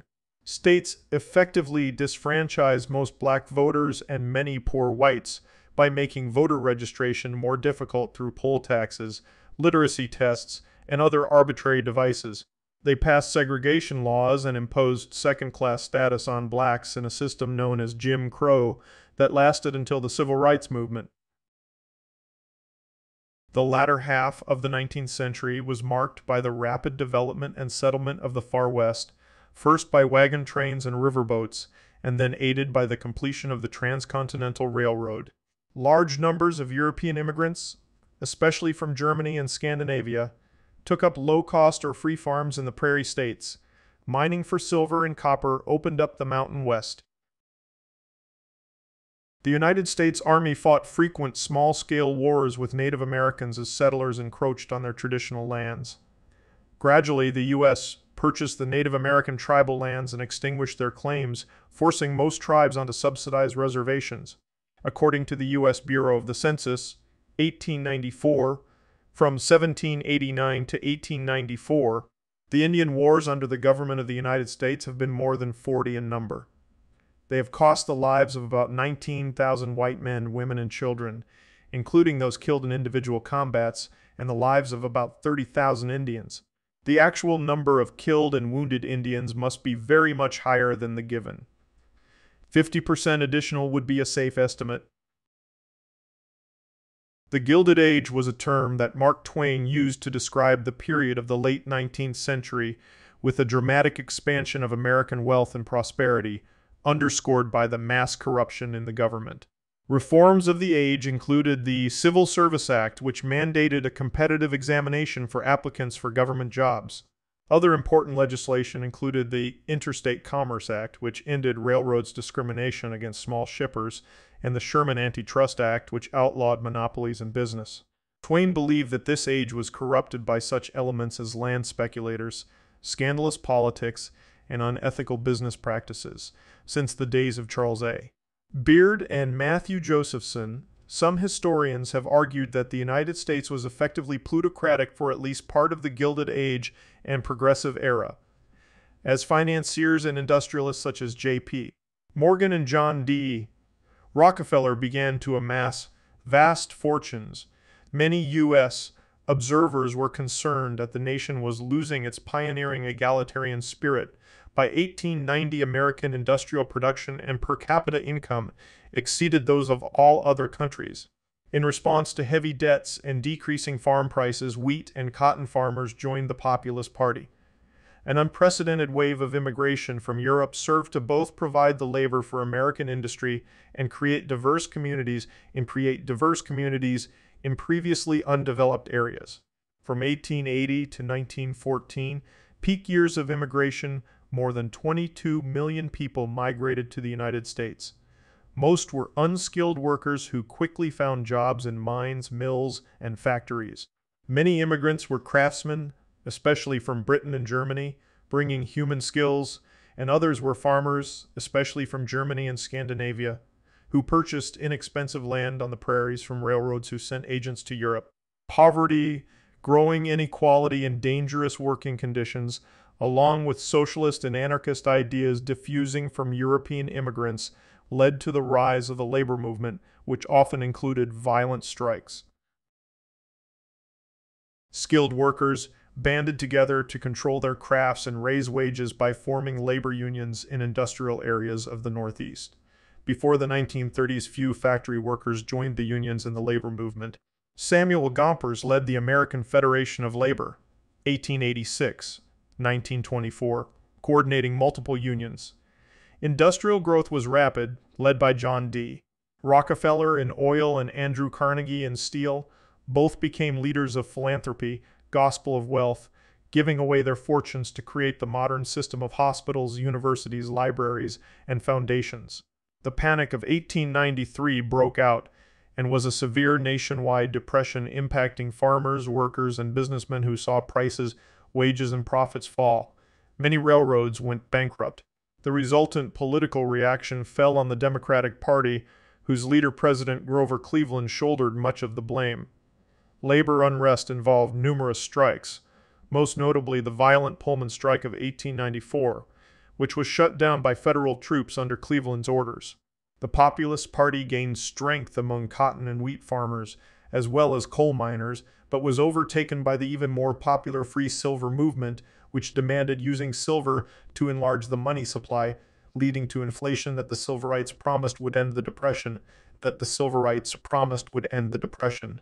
Financial, railroad, and business communities fought back hard, arguing that only the gold standard would save the economy.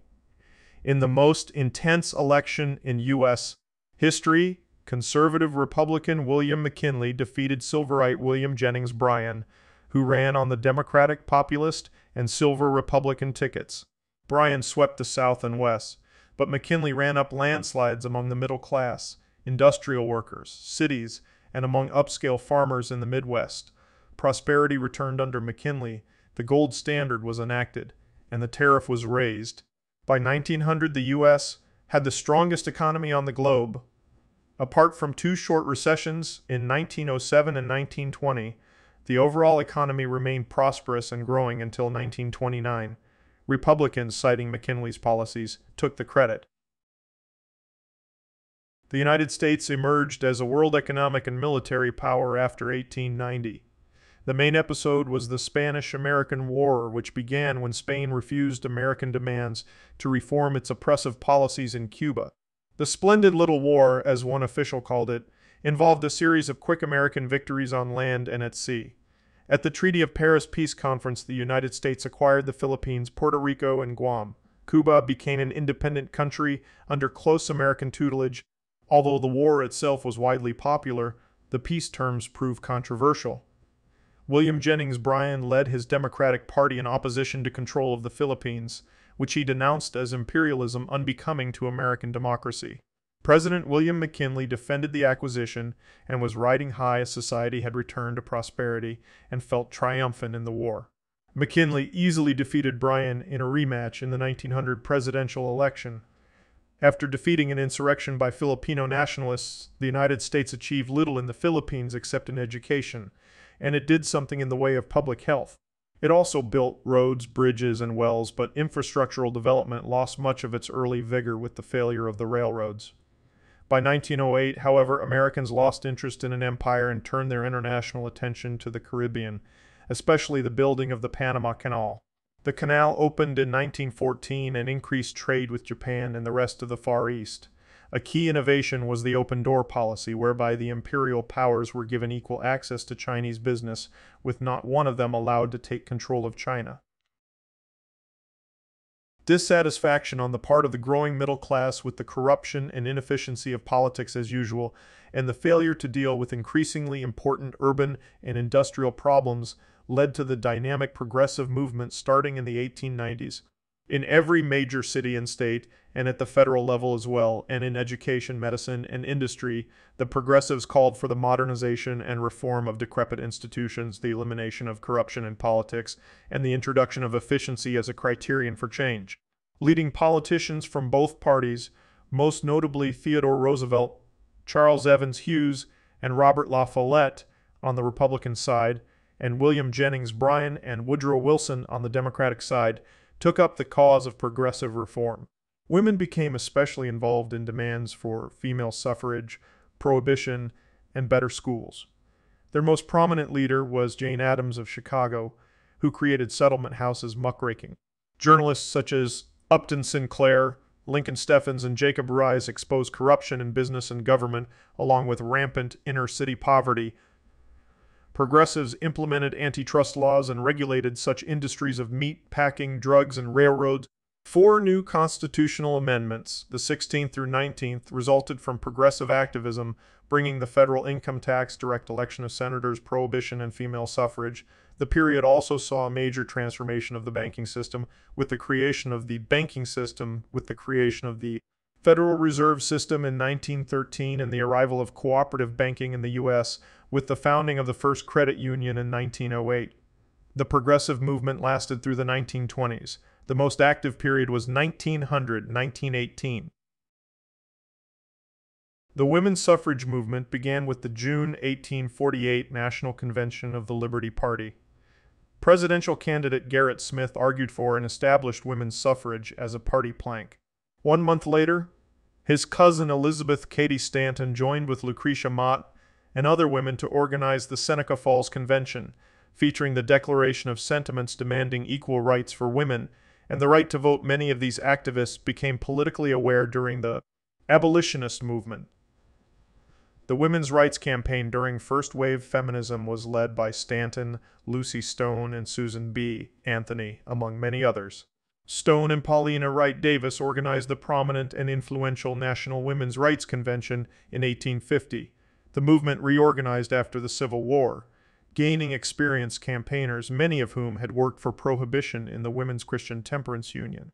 By the end of the 19th century, a few Western states had granted women full voting rights, though women had made significant legal victories, gaining rights in areas such as property and child custody.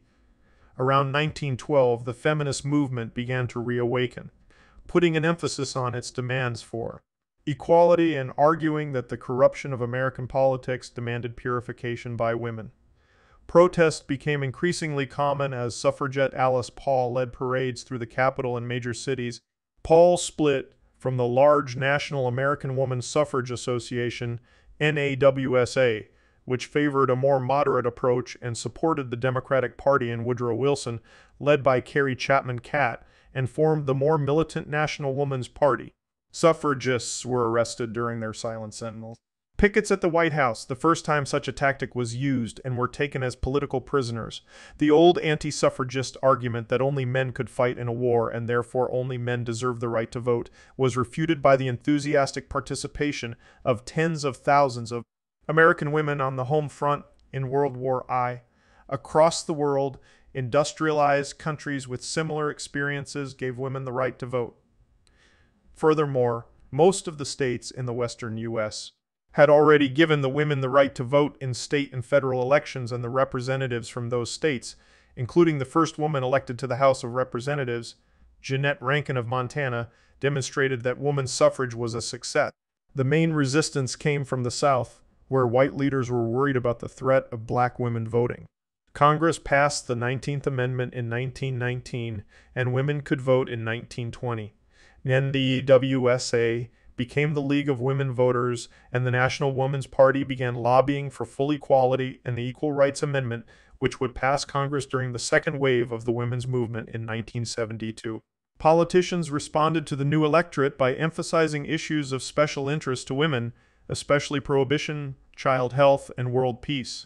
The main surge of women voting came in 1928, when the big city machines realized they needed the support of women to elect Al Smith, a Catholic from New York City. Meanwhile, Protestants mobilized women to support prohibition and vote for Republican Herbert Hoover. As World War I raged in Europe from 1914, President Woodrow Wilson took full control of foreign policy declaring neutrality but warning Germany that resumption of unrestricted submarine warfare against American ships supplying goods to Allied nations would mean war. Germany decided to take the risk and try to win by cutting off supplies to Britain through the sinking of ships such as the RMS Lusitania, the US Lusitania, the USS declared war in April 1917 mainly from the threat of the Zimmermann telegram American money, food, and munitions arrived in Europe quickly, but troops had to be drafted and trained. By the summer of 1918, American Expeditionary Forces soldiers under General John J. Pershing's American Expeditionary Forces arrived at the rate of 10,000 a day, while Germany was unable to replace its losses. Dissent against the war was suppressed by the Sedition Act of 1918-1818 Espionage Act of 1917. German language leftist pacifist publications were suppressed, and over 2,000 were imprisoned for speaking out against the war. The political prisoners were later released by U.S. President Warren G. Harding. The result was Allied victory in November 1918. President Wilson demanded Germany depose the Kaiser and accept his terms in the famed 14 point speech. Wilson dominated the 1919 Paris Peace Conference, but Germany was treated harshly by the Allies in the Treaty of Versailles 1919, as Wilson put all his hopes in the new League of Nations. Wilson refused to compromise with Senate Republicans over the issue of congressional power to declare war, and the Senate rejected the treaty and the League. In the 1920s, the U.S. grew steadily in stature as an economic and military world power. The United States Senate did not ratify the Treaty of Versailles imposed by its allies on the defeated Central Powers. Instead, the United States chose to pursue unilateralism. The aftershock of Russia's October Revolution resulted in real fears of communism in the United States, leading to a Red Scare and the deportation of aliens considered subversive. While public health facilities grew rapidly in the Progressive Era and hospitals and medical schools were modernized, the country in 1918 and 1918 and 19 lost approximately 675,000 lives to the Spanish flu pandemic. In 1920, the manufacture, sale, import, and export of alcohol were prohibited by the 18th Amendment prohibition. The result was that in cities illegal alcohol became a big business, largely controlled by racketeers. The second Ku Klux Klan grew rapidly in 1922, 1925, then collapsed. Immigration laws were passed to strictly limit the number of new entries. The 1920s were called the Roaring Twenties due to the great economic prosperity during this period. Jazz became popular among the younger generation, and thus the decade was also called the Jazz Age. The Great Depression 1929-1939 and the New Deal 1933-1936 were decisive moments in American political, economic, and social history that reshaped the nation during the 1920s. The nation enjoyed widespread prosperity, albeit with a weakness in agriculture. A financial bubble was fueled by an inflated stock market, which later led to the stock market crash on October 29, 1929. This, along with many other economic factors, triggered a worldwide depression known as the Great Depression, known as the Great Depression. During this time, the United States experienced deflation as prices fell. Unemployment soared from 3 in 1929 to 25 in 1933. Farm prices fell by half, and manufacturing output plunged by one third. In 1932, Democratic presidential nominee Franklin D. Roosevelt promised a new deal for the American people, coining the enduring label for his domestic policies. The result was a series of permanent reform programs including relief for the unemployed, assistance for the elderly, jobs for young men, Social Security, unemployment insurance, public housing bankruptcy insurance, public housing bankruptcy insurance, farm subsidies, and regulation of financial securities. State governments added new programs as well and introduced the sales tax to pay for them. Ideologically, the revolution established modern liberalism in the United States and kept the Democrats in power in Washington almost continuously for three decades, thanks to the New Deal coalition of ethnic whites, blacks, blue collar workers, labor unions, and white Southerners. It provided relief to the long term unemployed through numerous programs, such as the Works Progress Administration, WPA, and for young men, the Civilian Conservation Corps. Large scale spending projects designed to provide private sector construction jobs and rebuild the infrastructure were under the purview of the Public Works Administration.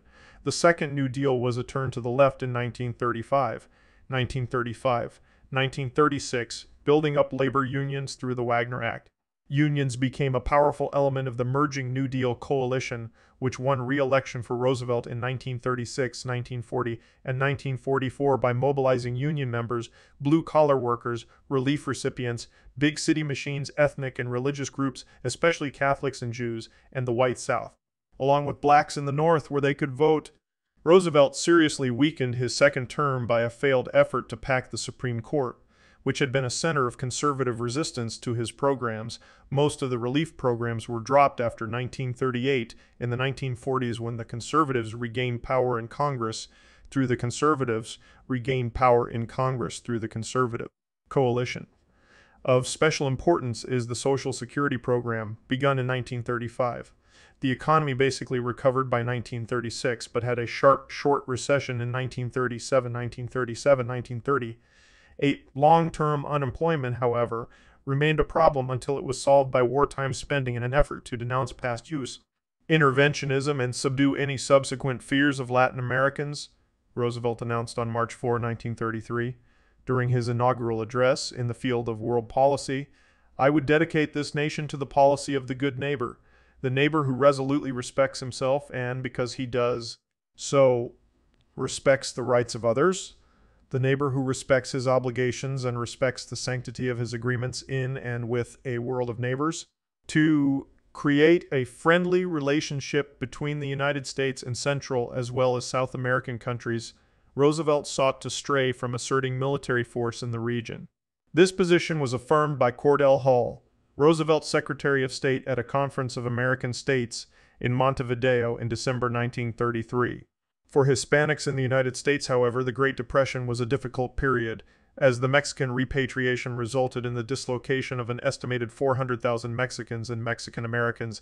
In the Depression years, the United States remained focused on domestic concerns while democracy declined across the world and many countries fell under the control of dictators.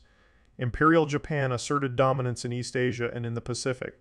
Nazi Germany and Fascist Italy militarized and threatened conquests, while Britain and France attempted appeasement to avert another war in Europe.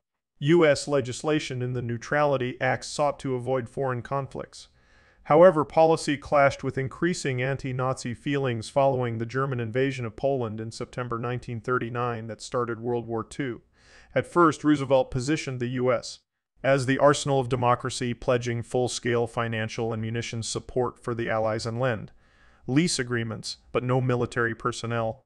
Japan tried to neutralize America's power in the Pacific by attacking Pearl Harbor in 1941, but instead it catalyzed American support to enter the war. The main contributions of the U.S.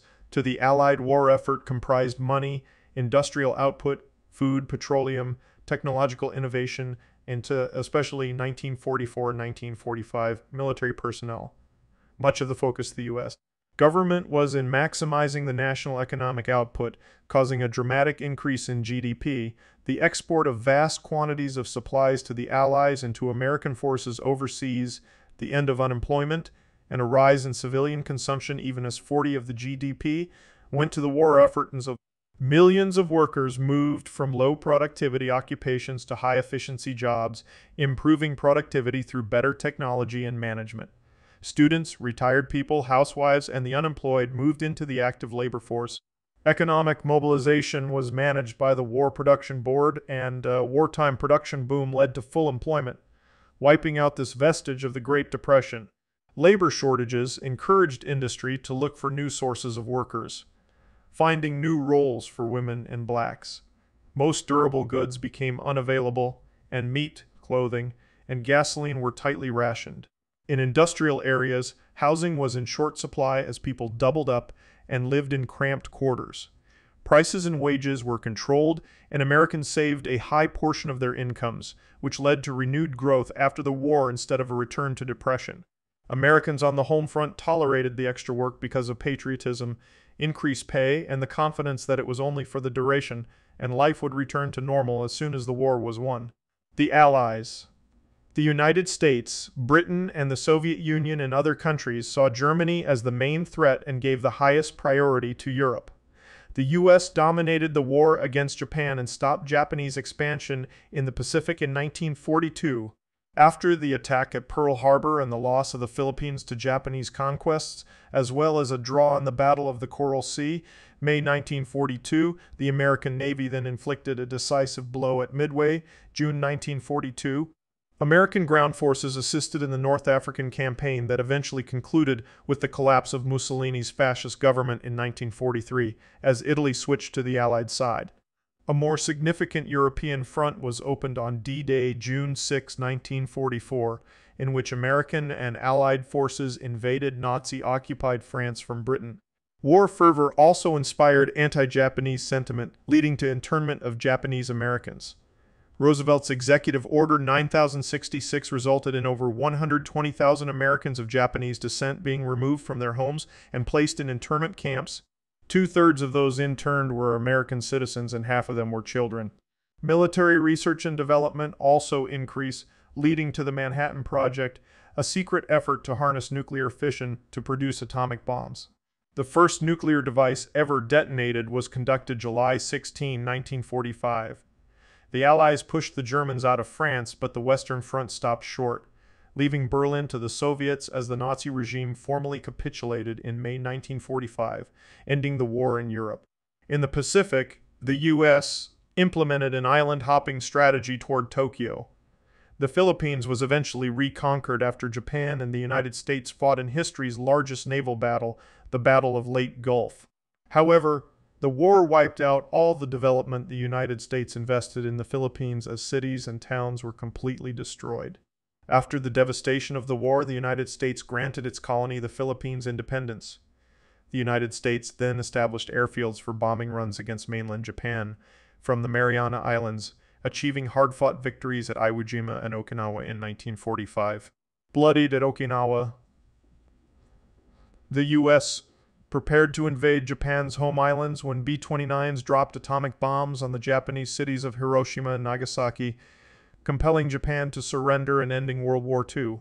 The U.S. occupied Japan and part of Germany and restructured Japan along American lines. During the war, Roosevelt coined the term Four Powers to refer four major allies of World War II the United States, the United Kingdom, the Soviet Union, and China, which later became the foundation of the United Nations Security Council. Though more than 400,000 military personnel and civilians were lost, the U.S. mostly prospered untouched by the physical devastation of war that inflicted a heavy toll on Europe and East Asia. Participation in post-war foreign affairs marked the end of predominant American isolationism. The threat of nuclear weapons inspired both optimism and fear.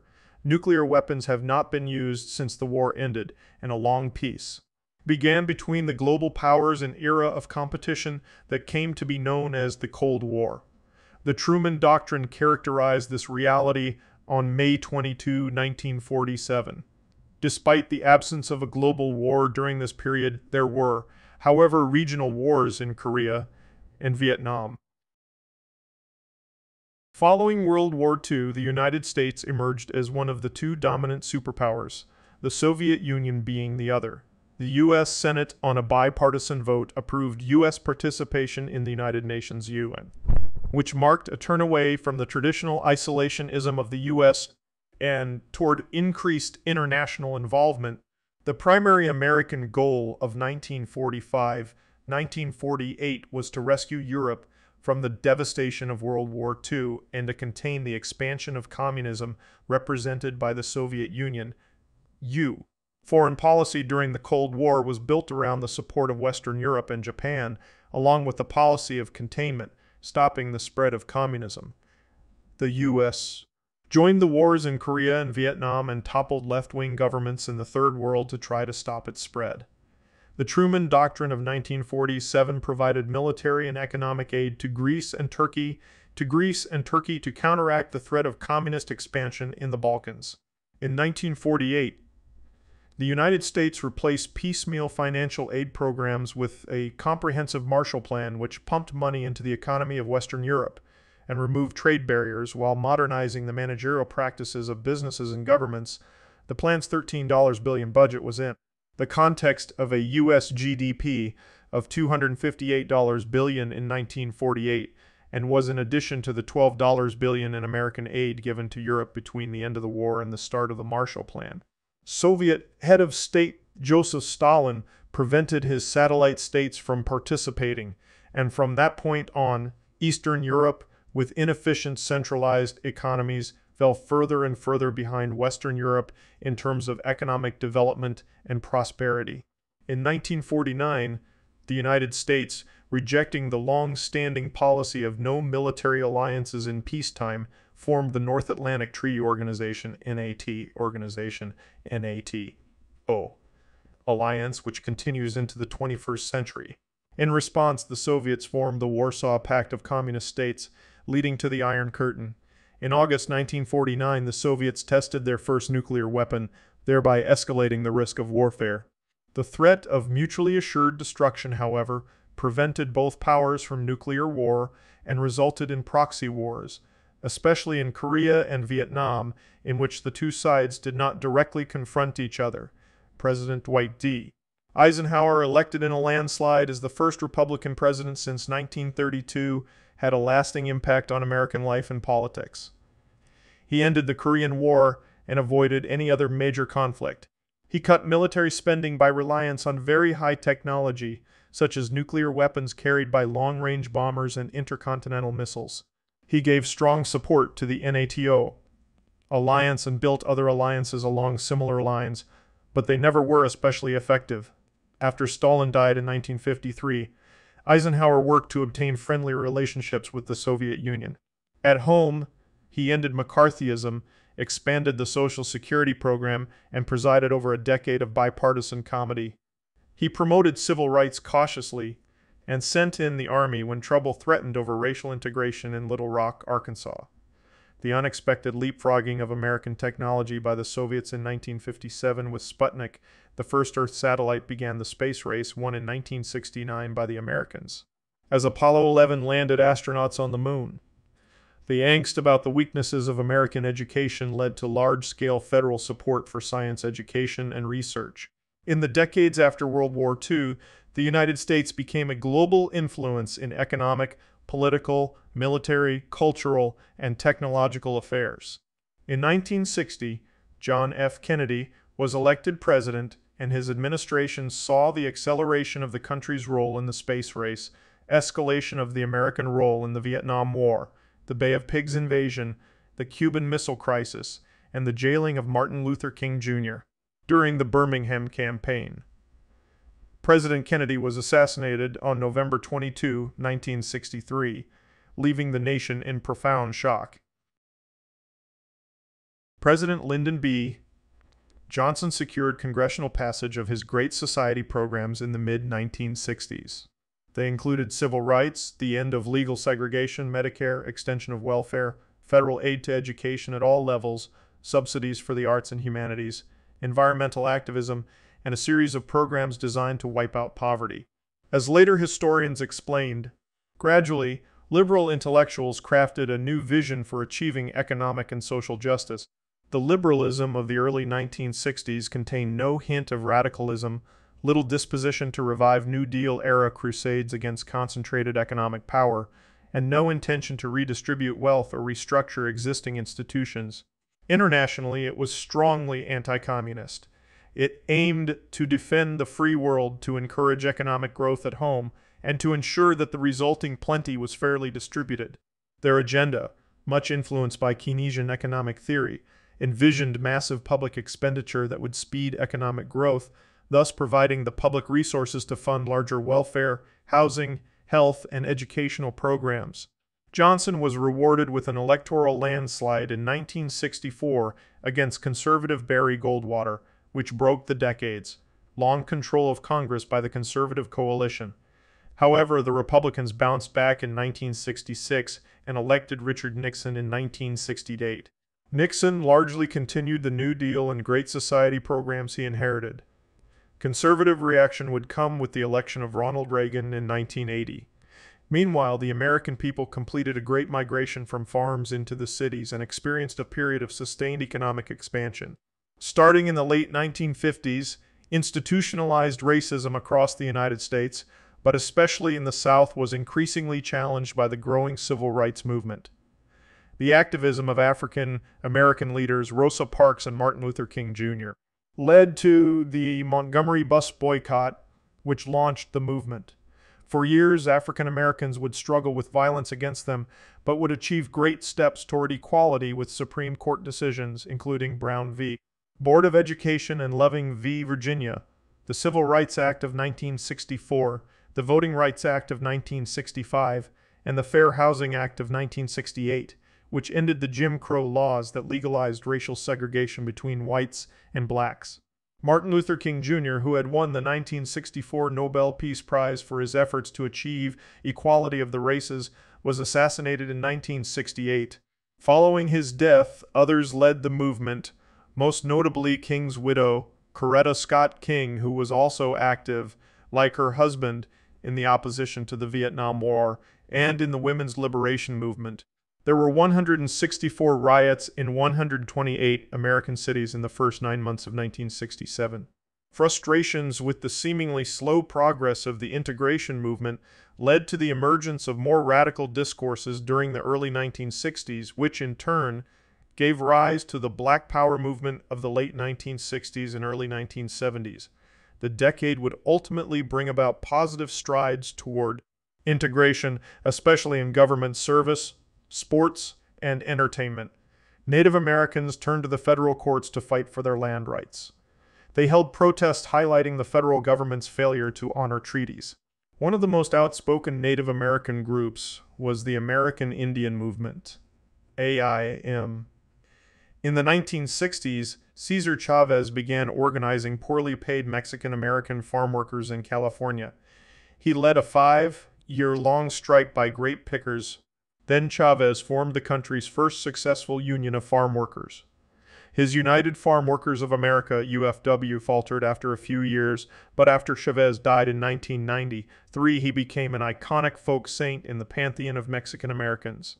A new consciousness of the inequality of American women began sweeping the nation, starting with the 1963 publication of Betty Friedan's bestseller, The Feminine Mystique, which explained how many mystique, which explained how many housewives felt trapped and unfulfilled, assaulted American culture for its creation of the notion that women could only find fulfillment through their roles as wives, mothers, and keepers of the home, and argued that women were just as able as men to do every type of job. In 1966, Friedan and others established the National Organization for Women, NOW, to act for women as the NAACP did for African Americans. Protests began, and the new women's liberation movement grew in size and power, gained much media attention, and by 1968 had replaced the civil rights movement as the U.S.'s main social revolution. Marches, parades, rallies, boycotts, and pickets brought out thousands, sometimes millions. There were striking gains for women in medicine, law, and business, while only a few were elected to office. The women's movement was split into factions by political ideology early on, with no, with the Women's Equity Action League, where on the left, the Women's Equity Action League, we uh, uh, on the right, the National Women's Political Caucus, NWPC, in the center, and more radical groups formed by younger women on the far left. The proposed Equal Rights Amendment to the Constitution, passed by Congress in 1972, was defeated by a conservative coalition mobilized by Phyllis Schlafly, they argued that it degraded the position of the housewife and made young women susceptible to the military draft. However, many federal laws, i.e., those equalizing pay, employment, education, employment opportunities, and credit, ending pregnancy discrimination, and requiring NASA, the military academies, and other organizations to admit women, state laws II, those ending spousal abuse and marital rape, Supreme Court rulings II, ruling that the Equal Protection Clause of the 14th Amendment applied to women, and state eras established women's equal status under the law, and social custom and consciousness began to change, accepting women's equality. The controversial issue of abortion, deemed by the Supreme Court as a fundamental right in Roe v. Wade, 1973, is still a point of debate today. Amid the Cold War, the United States entered the Vietnam War whose growing unpopularity fed already existing social movements, including those among women, minorities, and young people. President Lyndon B. Johnson's Great Society social programs and numerous rulings by the Warren Court added to the wide range of social reform during the 1960s and 1960s and 1970s. Feminism and the environmental movement became political forces, and progress continued towards civil rights for all Americans. The counterculture revolution swept through the nation and much of the Western world in the late 60s and early 70s, further dividing Americans in a culture war, but also bringing forth more liberated social views. Johnson was succeeded in 1969 by Republican Richard Nixon, who attempted to gradually turn the war over to the South Vietnamese forces. He negotiated the peace treaty in 1973, which secured the release of POWs and led to the withdrawal of U.S. troops. The war had cost the lives of 58,000 American troops. Nixon manipulated the fierce distrust between the Soviet Union and China to the advantage of the United of the United States, achieving detente with both parties. The Watergate scandal, involving Nixon's cover-up of his operatives' break in into the Democratic National Committee headquarters at the Watergate office complex destroyed his political base, sent many aides to prison, and forced Nixon's resignation on August 9, 1974. He was succeeded by Vice President Gerald Ford. The fall of Saigon, on April 30, 1975, ended the Vietnam War and resulted in North and South Vietnam being reunited. Communist victories in neighboring Cambodia and Laos occurred in the same year, with the fall of Cambodia's capital, Phnom Penh, on April 17, and the taking of Laos's capital, Vientiane, on December 2. The OPEC oil embargo marked a long-term economic transition since, for the first time, energy prices skyrocketed and American factories faced serious competition from foreign automobiles, clothing, electronics, and consumer goods. By the late 1970s, the economy suffered an energy crisis, slow economic growth, high unemployment, and very high inflation coupled with high interest rates. The term stagflation was coined. Since economists agreed on the wisdom of deregulation, many of the New Deal era regulations were ended, such as in transportation, banking, and telecommunications. Jimmy Carter, running as someone who was not a part of the Washington political establishment, was elected president in 1976. On the world stage, Carter brokered the Camp David Accords between Israel and Egypt. In 1979, Iranian students stormed the U.S. Embassy in Tehran and took 66 Americans hostage, resulting in the Iran hostage crisis. With the hostage crisis and continuing stagflation, Carter lost the 1980 election to the Republican Ronald Reagan. On January 20, 1981, minutes after Carter's term in office ended, the remaining U.S. captives held at the U.S. Embassy in Iran were released, ending the 444-day hostage crisis. Ronald Reagan produced a major political realignment with his 1980 and 1984 landslide elections.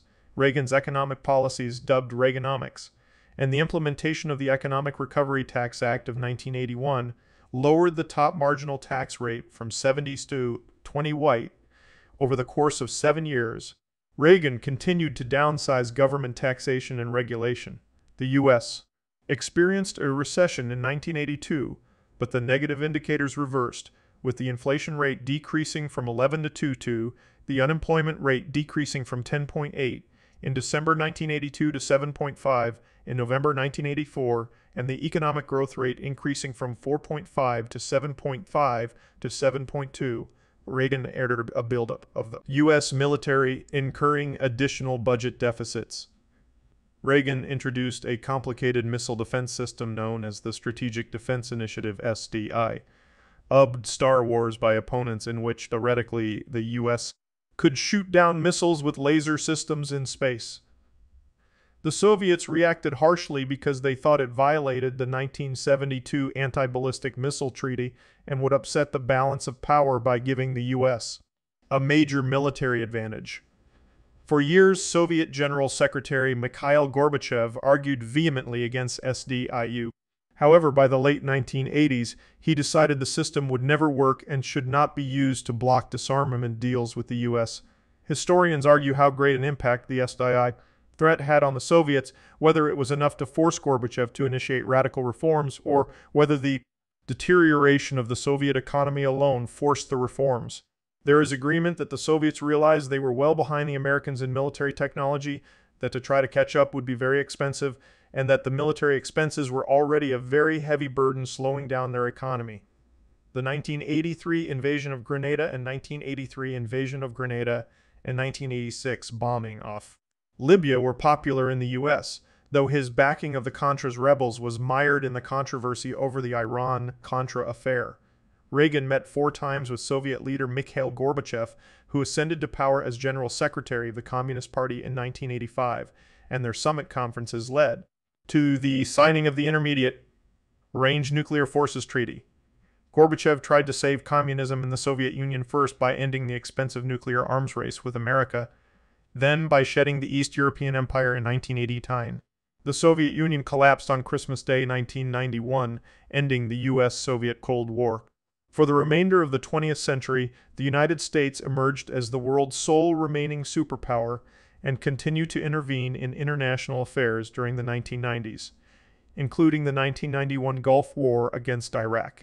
Following his election in 1992, President Bill Clinton oversaw one of the longest periods of economic expansion and unprecedented gains in securities values. President Clinton worked with the Republican Congress to pass the first balanced federal budget in 30 years. Much of the economic boom was a side effect of the digital revolution and new business opportunities created by the internet privatized in 1993. Prior to this time, ARPANET, a Department of Defense project, had developed the internet for governmental and research purposes.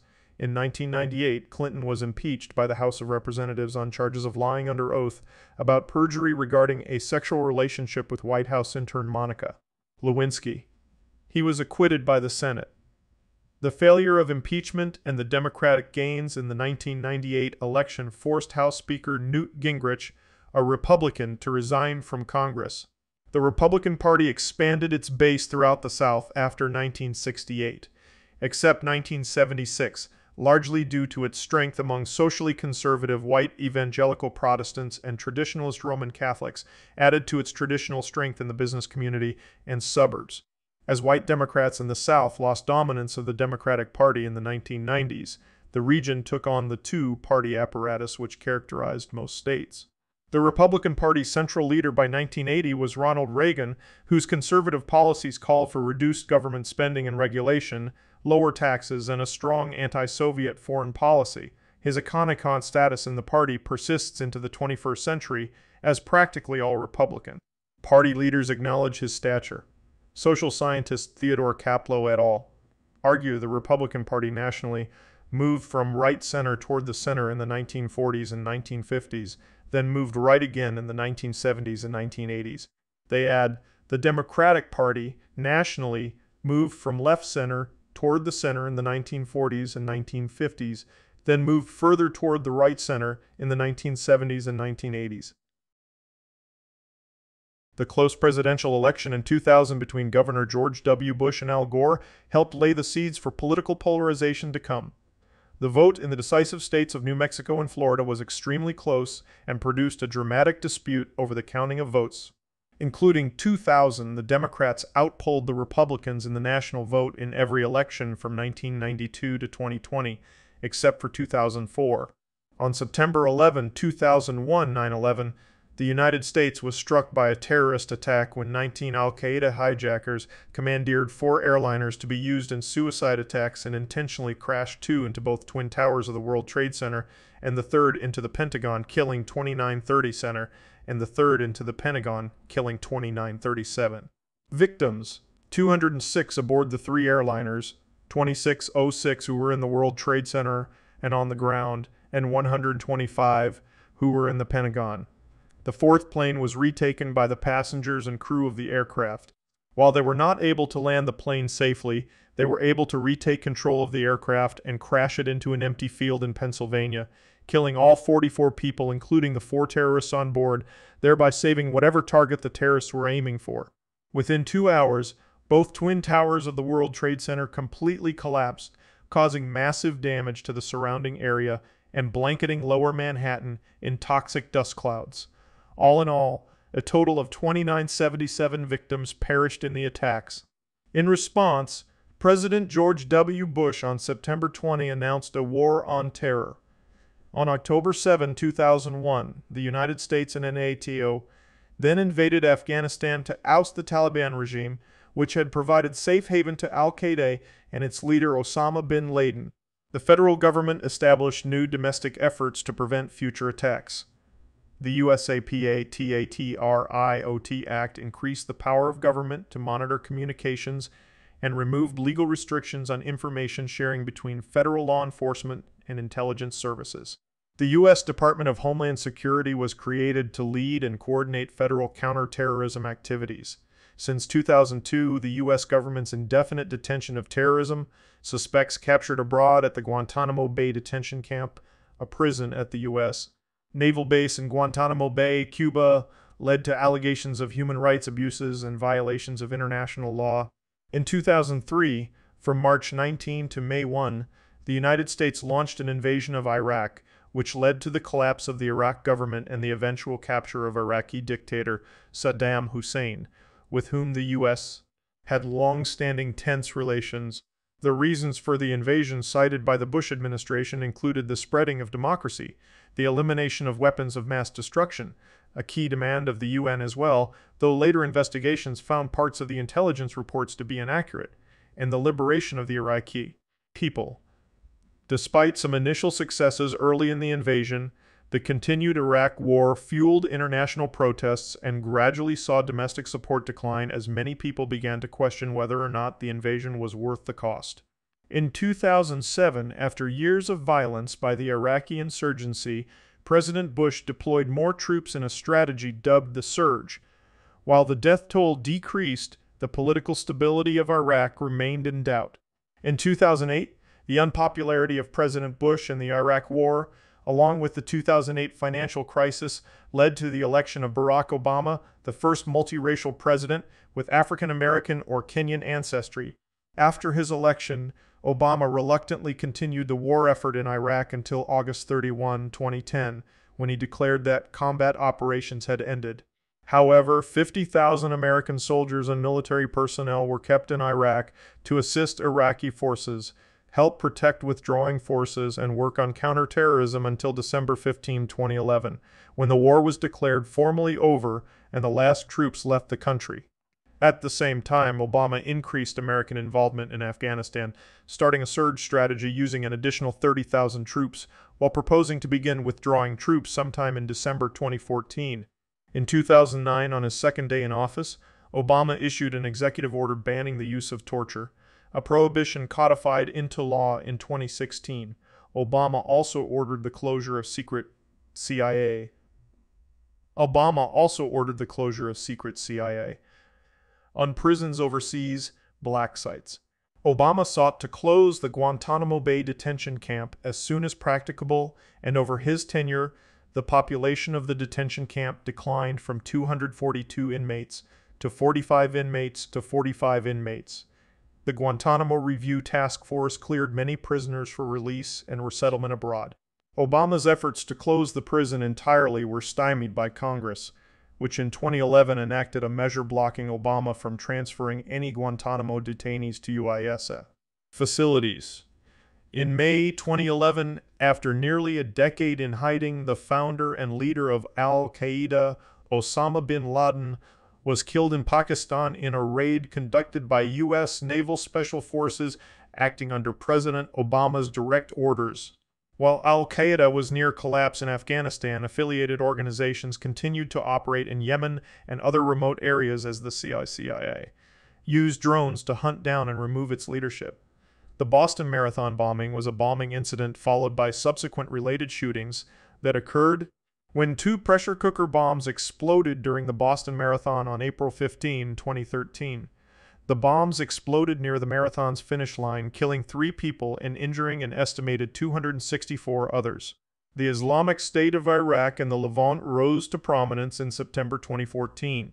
In addition to taking control of much of western Iraq and eastern Syria, IEE Cyrus also beheaded three journalists, two American and one British. These events lead to a major military offensive by the United States and its allies in the region. On December 28, 2014, Obama officially ended the combat mission in Afghanistan and promised a withdrawal of all remaining U.S. troops at the end of 2016, with the exception of the embassy guards. The U.S. military mission formally ended on August 30, 2021. In September 2008, the United States and most of Europe entered the longest post World War II recession often called the Great Recession. Multiple overlapping crises were involved, especially the housing market crisis, a subprime mortgage crisis, soaring oil prices, an automotive industry crisis, rising unemployment, and the worst financial crisis since the Great Depression. The financial crisis threatened the stability of the entire economy in September 2008 when Lehman Brothers failed and other giant banks were in grave danger. Starting in October, the federal government lent $245 billion to financial institutions through the Troubled Asset Relief Program, which was passed by bipartisan majorities and signed by Bush. Following his election victory by a wide electoral margin in November 2008, Bush's successor, Barack Obama, signed into law the American Recovery and Reinvestment Act of 2009, which was a $787 billion economic stimulus aimed at helping the economy recover from the deepening recession. Obama, like Bush, took steps to rescue the auto industry and prevent future economic meltdowns. These included a bailout of General Motors and Chrysler, putting ownership temporarily in the hands of the government, and the Cash for Clunkers program, which temporarily boosted new car sales. The recession officially ended in June 2009, and the economy slowly began to expand once again. Beginning in December 2007, the unemployment rate steeply rose from around 5 to a peak of 10 before falling as the economy and labor markets experienced a recovery. The economic expansion that followed the Great Recession was the longest in U.S. history. Strong growth led to the unemployment rate reaching a 50 year low in 2019. Despite the strong economy, increases in the cost of housing, childcare, higher education, and out of pocket healthcare expenses surpassed increases in wages, a phenomenon some referred to as an affordability crisis. The economic expansion came to an end in early 2020 with a sharp economic contraction largely caused by the SCOO. V19 pandemic, which seriously affected the United States from 2009 to 2010, the 111th Congress passed major legislation such as the Patient Protection and Affordable Care Act, informally known as Obamacare, the Dodd Frank Wall Street Reform and Consumer Protection Act, and the Don't Ask, Don't Tell Repeal Act, which were signed into law by President Obama. Following the 2010 midterm elections, which resulted in a Republican controlled House of Representatives and a Democratic controlled Senate, Congress presided over a period of elevated gridlock and heated debates over whether or not to raise the debt ceiling, extend tax cuts for citizens making over $250,000 annually, and many other key issues. These ongoing debates led to President Obama signing the Budget Control Act of 2011. Following Obama's 2012 re-election, congressional gridlock continued as congressional Republicans call for the repeal of the Patient Protection and Affordable Care Act, along with other various demands, resulted in the first government shutdown since the Clinton administration and almost led to the first default on U.S. debt since the 19th century. As a result of growing public frustration with both parties in Congress since the beginning of the decade, congressional approval ratings fell to record lows. Recent events also include the rise of new political movements such as the conservative Tea Party movement and the liberal Occupy movement. The debate over the issue of rights for the LGBT community, including same-sex marriage, began to shift in favor of same-sex couples. In 2012, President Obama became the first president to openly support same-sex marriage, and the Supreme Court provided for federal recognition of same-sex unions and then nationwide legalized gay marriage in 2015. Political debate has continued over tax reform, immigration reform, income inequality, and U.S. foreign policy in the Middle East, particularly with regards to global terrorism, the rise of the Islamic State of Iraq and the Levant, and an accompanying climate of Islamophobia. The late 2010s were marked by widespread social upheaval and change in the United States. The Me Too movement gained popularity, exposing alleged sexual harassment and abuse in the workplace, multiple prominent celebrities were accused of misconduct or rape. During this period, the Black Lives Matter movement also gained support online, exacerbated by the police killings of multiple black Americans, multiple mass shootings, including the Pulse nightclub shooting 2016 and the Las Vegas shooting, which claimed the lives of 61 people, led to increased calls for gun control and reform. Following the Stoneman Douglas High School shooting in 2018, gun control advocates organized the March for Our Lives, where millions of students across the country walked out of school to protest gun violence. The Women's March protest against Trump's presidency in 2017 was one of the largest protests in American history. In 2016, following a contentious election, Republican Donald Trump was elected president. The results of the election were called into question, and U.S. Intelligence agencies concluded that associates of the Russian government interfered in the election to undermine public faith in the U.S. democratic process. This, along with questions about potential collusion between the Trump campaign and Russian officials, led to investigations by the FBI. And Congress during Trump's presidency, he espoused an America First ideology, placing restrictions on asylum seekers and imposing a widely controversial ban on immigration from seven Muslim majority countries. Many of his executive orders and other actions were challenged in court. During his presidency, he also engaged the United States in a trade war with China, imposing a wide range of tariffs on Chinese products. In 2018, controversy erupted over the Trump administration's zero tolerance policy towards illegal immigrants, which involved the separation of thousands of undocumented children from their parents. After public outcry, Trump rescinded this policy. Trump rescinded this policy. Trump's term also saw the confirmation of three new justices to the Supreme Court, cementing a conservative majority. In 2019, a whistleblower complaint alleged that Trump had withheld foreign aid from Ukraine under the demand that they investigate the business dealings of the son of Trump's political opponent. As a result, Trump was impeached for abuse of power and obstruction of Congress, becoming the third president to have been impeached, but he was acquitted. The worldwide CUAV ID-19 pandemic having arrived in the United States was first confirmed in January 2020. By February 2, the Trump administration restricted travel to and from China on March 11. The WHO declared the virus to be a pandemic. In March, many state and local governments imposed stay-at-home orders to slow the spread of the virus, with the goal of reducing patient overload in hospitals. By March 26, New York Times data showed the United States to have the United States to have the highest number of known cases of any country. By March 27, the country had reported over 100,000 cases. On April 2, at President Trump's direction, the Centers for Medicare Medicare Medicaid Services CMS and CDC ordered additional preventive guidelines to the long-term care facility industry. On April 11, the U.S. death toll became the highest in the world when the number of deaths reached 20,000, surpassing that of Italy, on April 19, the CMS added new regulations requiring nursing homes to inform residents, their families and representatives, their families and representatives of COVID-19 cases in their facilities. On April 28, the total number of confirmed cases across the country surpassed 1 million. As of May 2022, the U.S. has suffered more official COVID ID-19 deaths than any other country with the death toll standing at 1 million, with the U.S.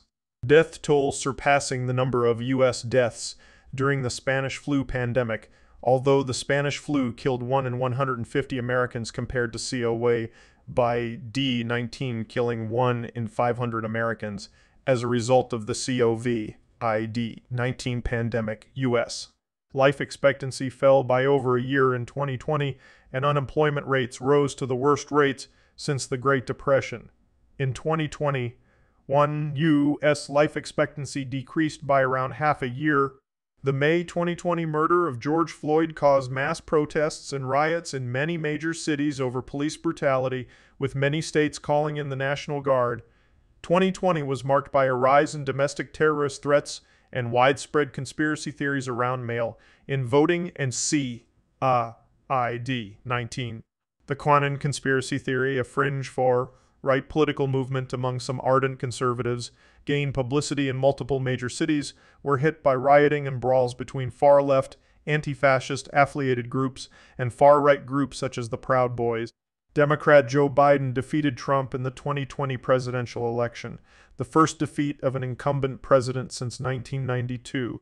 The election, with an exceptional amount of voting by mail and early voting due to the danger of contracting CEOV, ID 19, at traditional voting booths, had historically high voter turnout.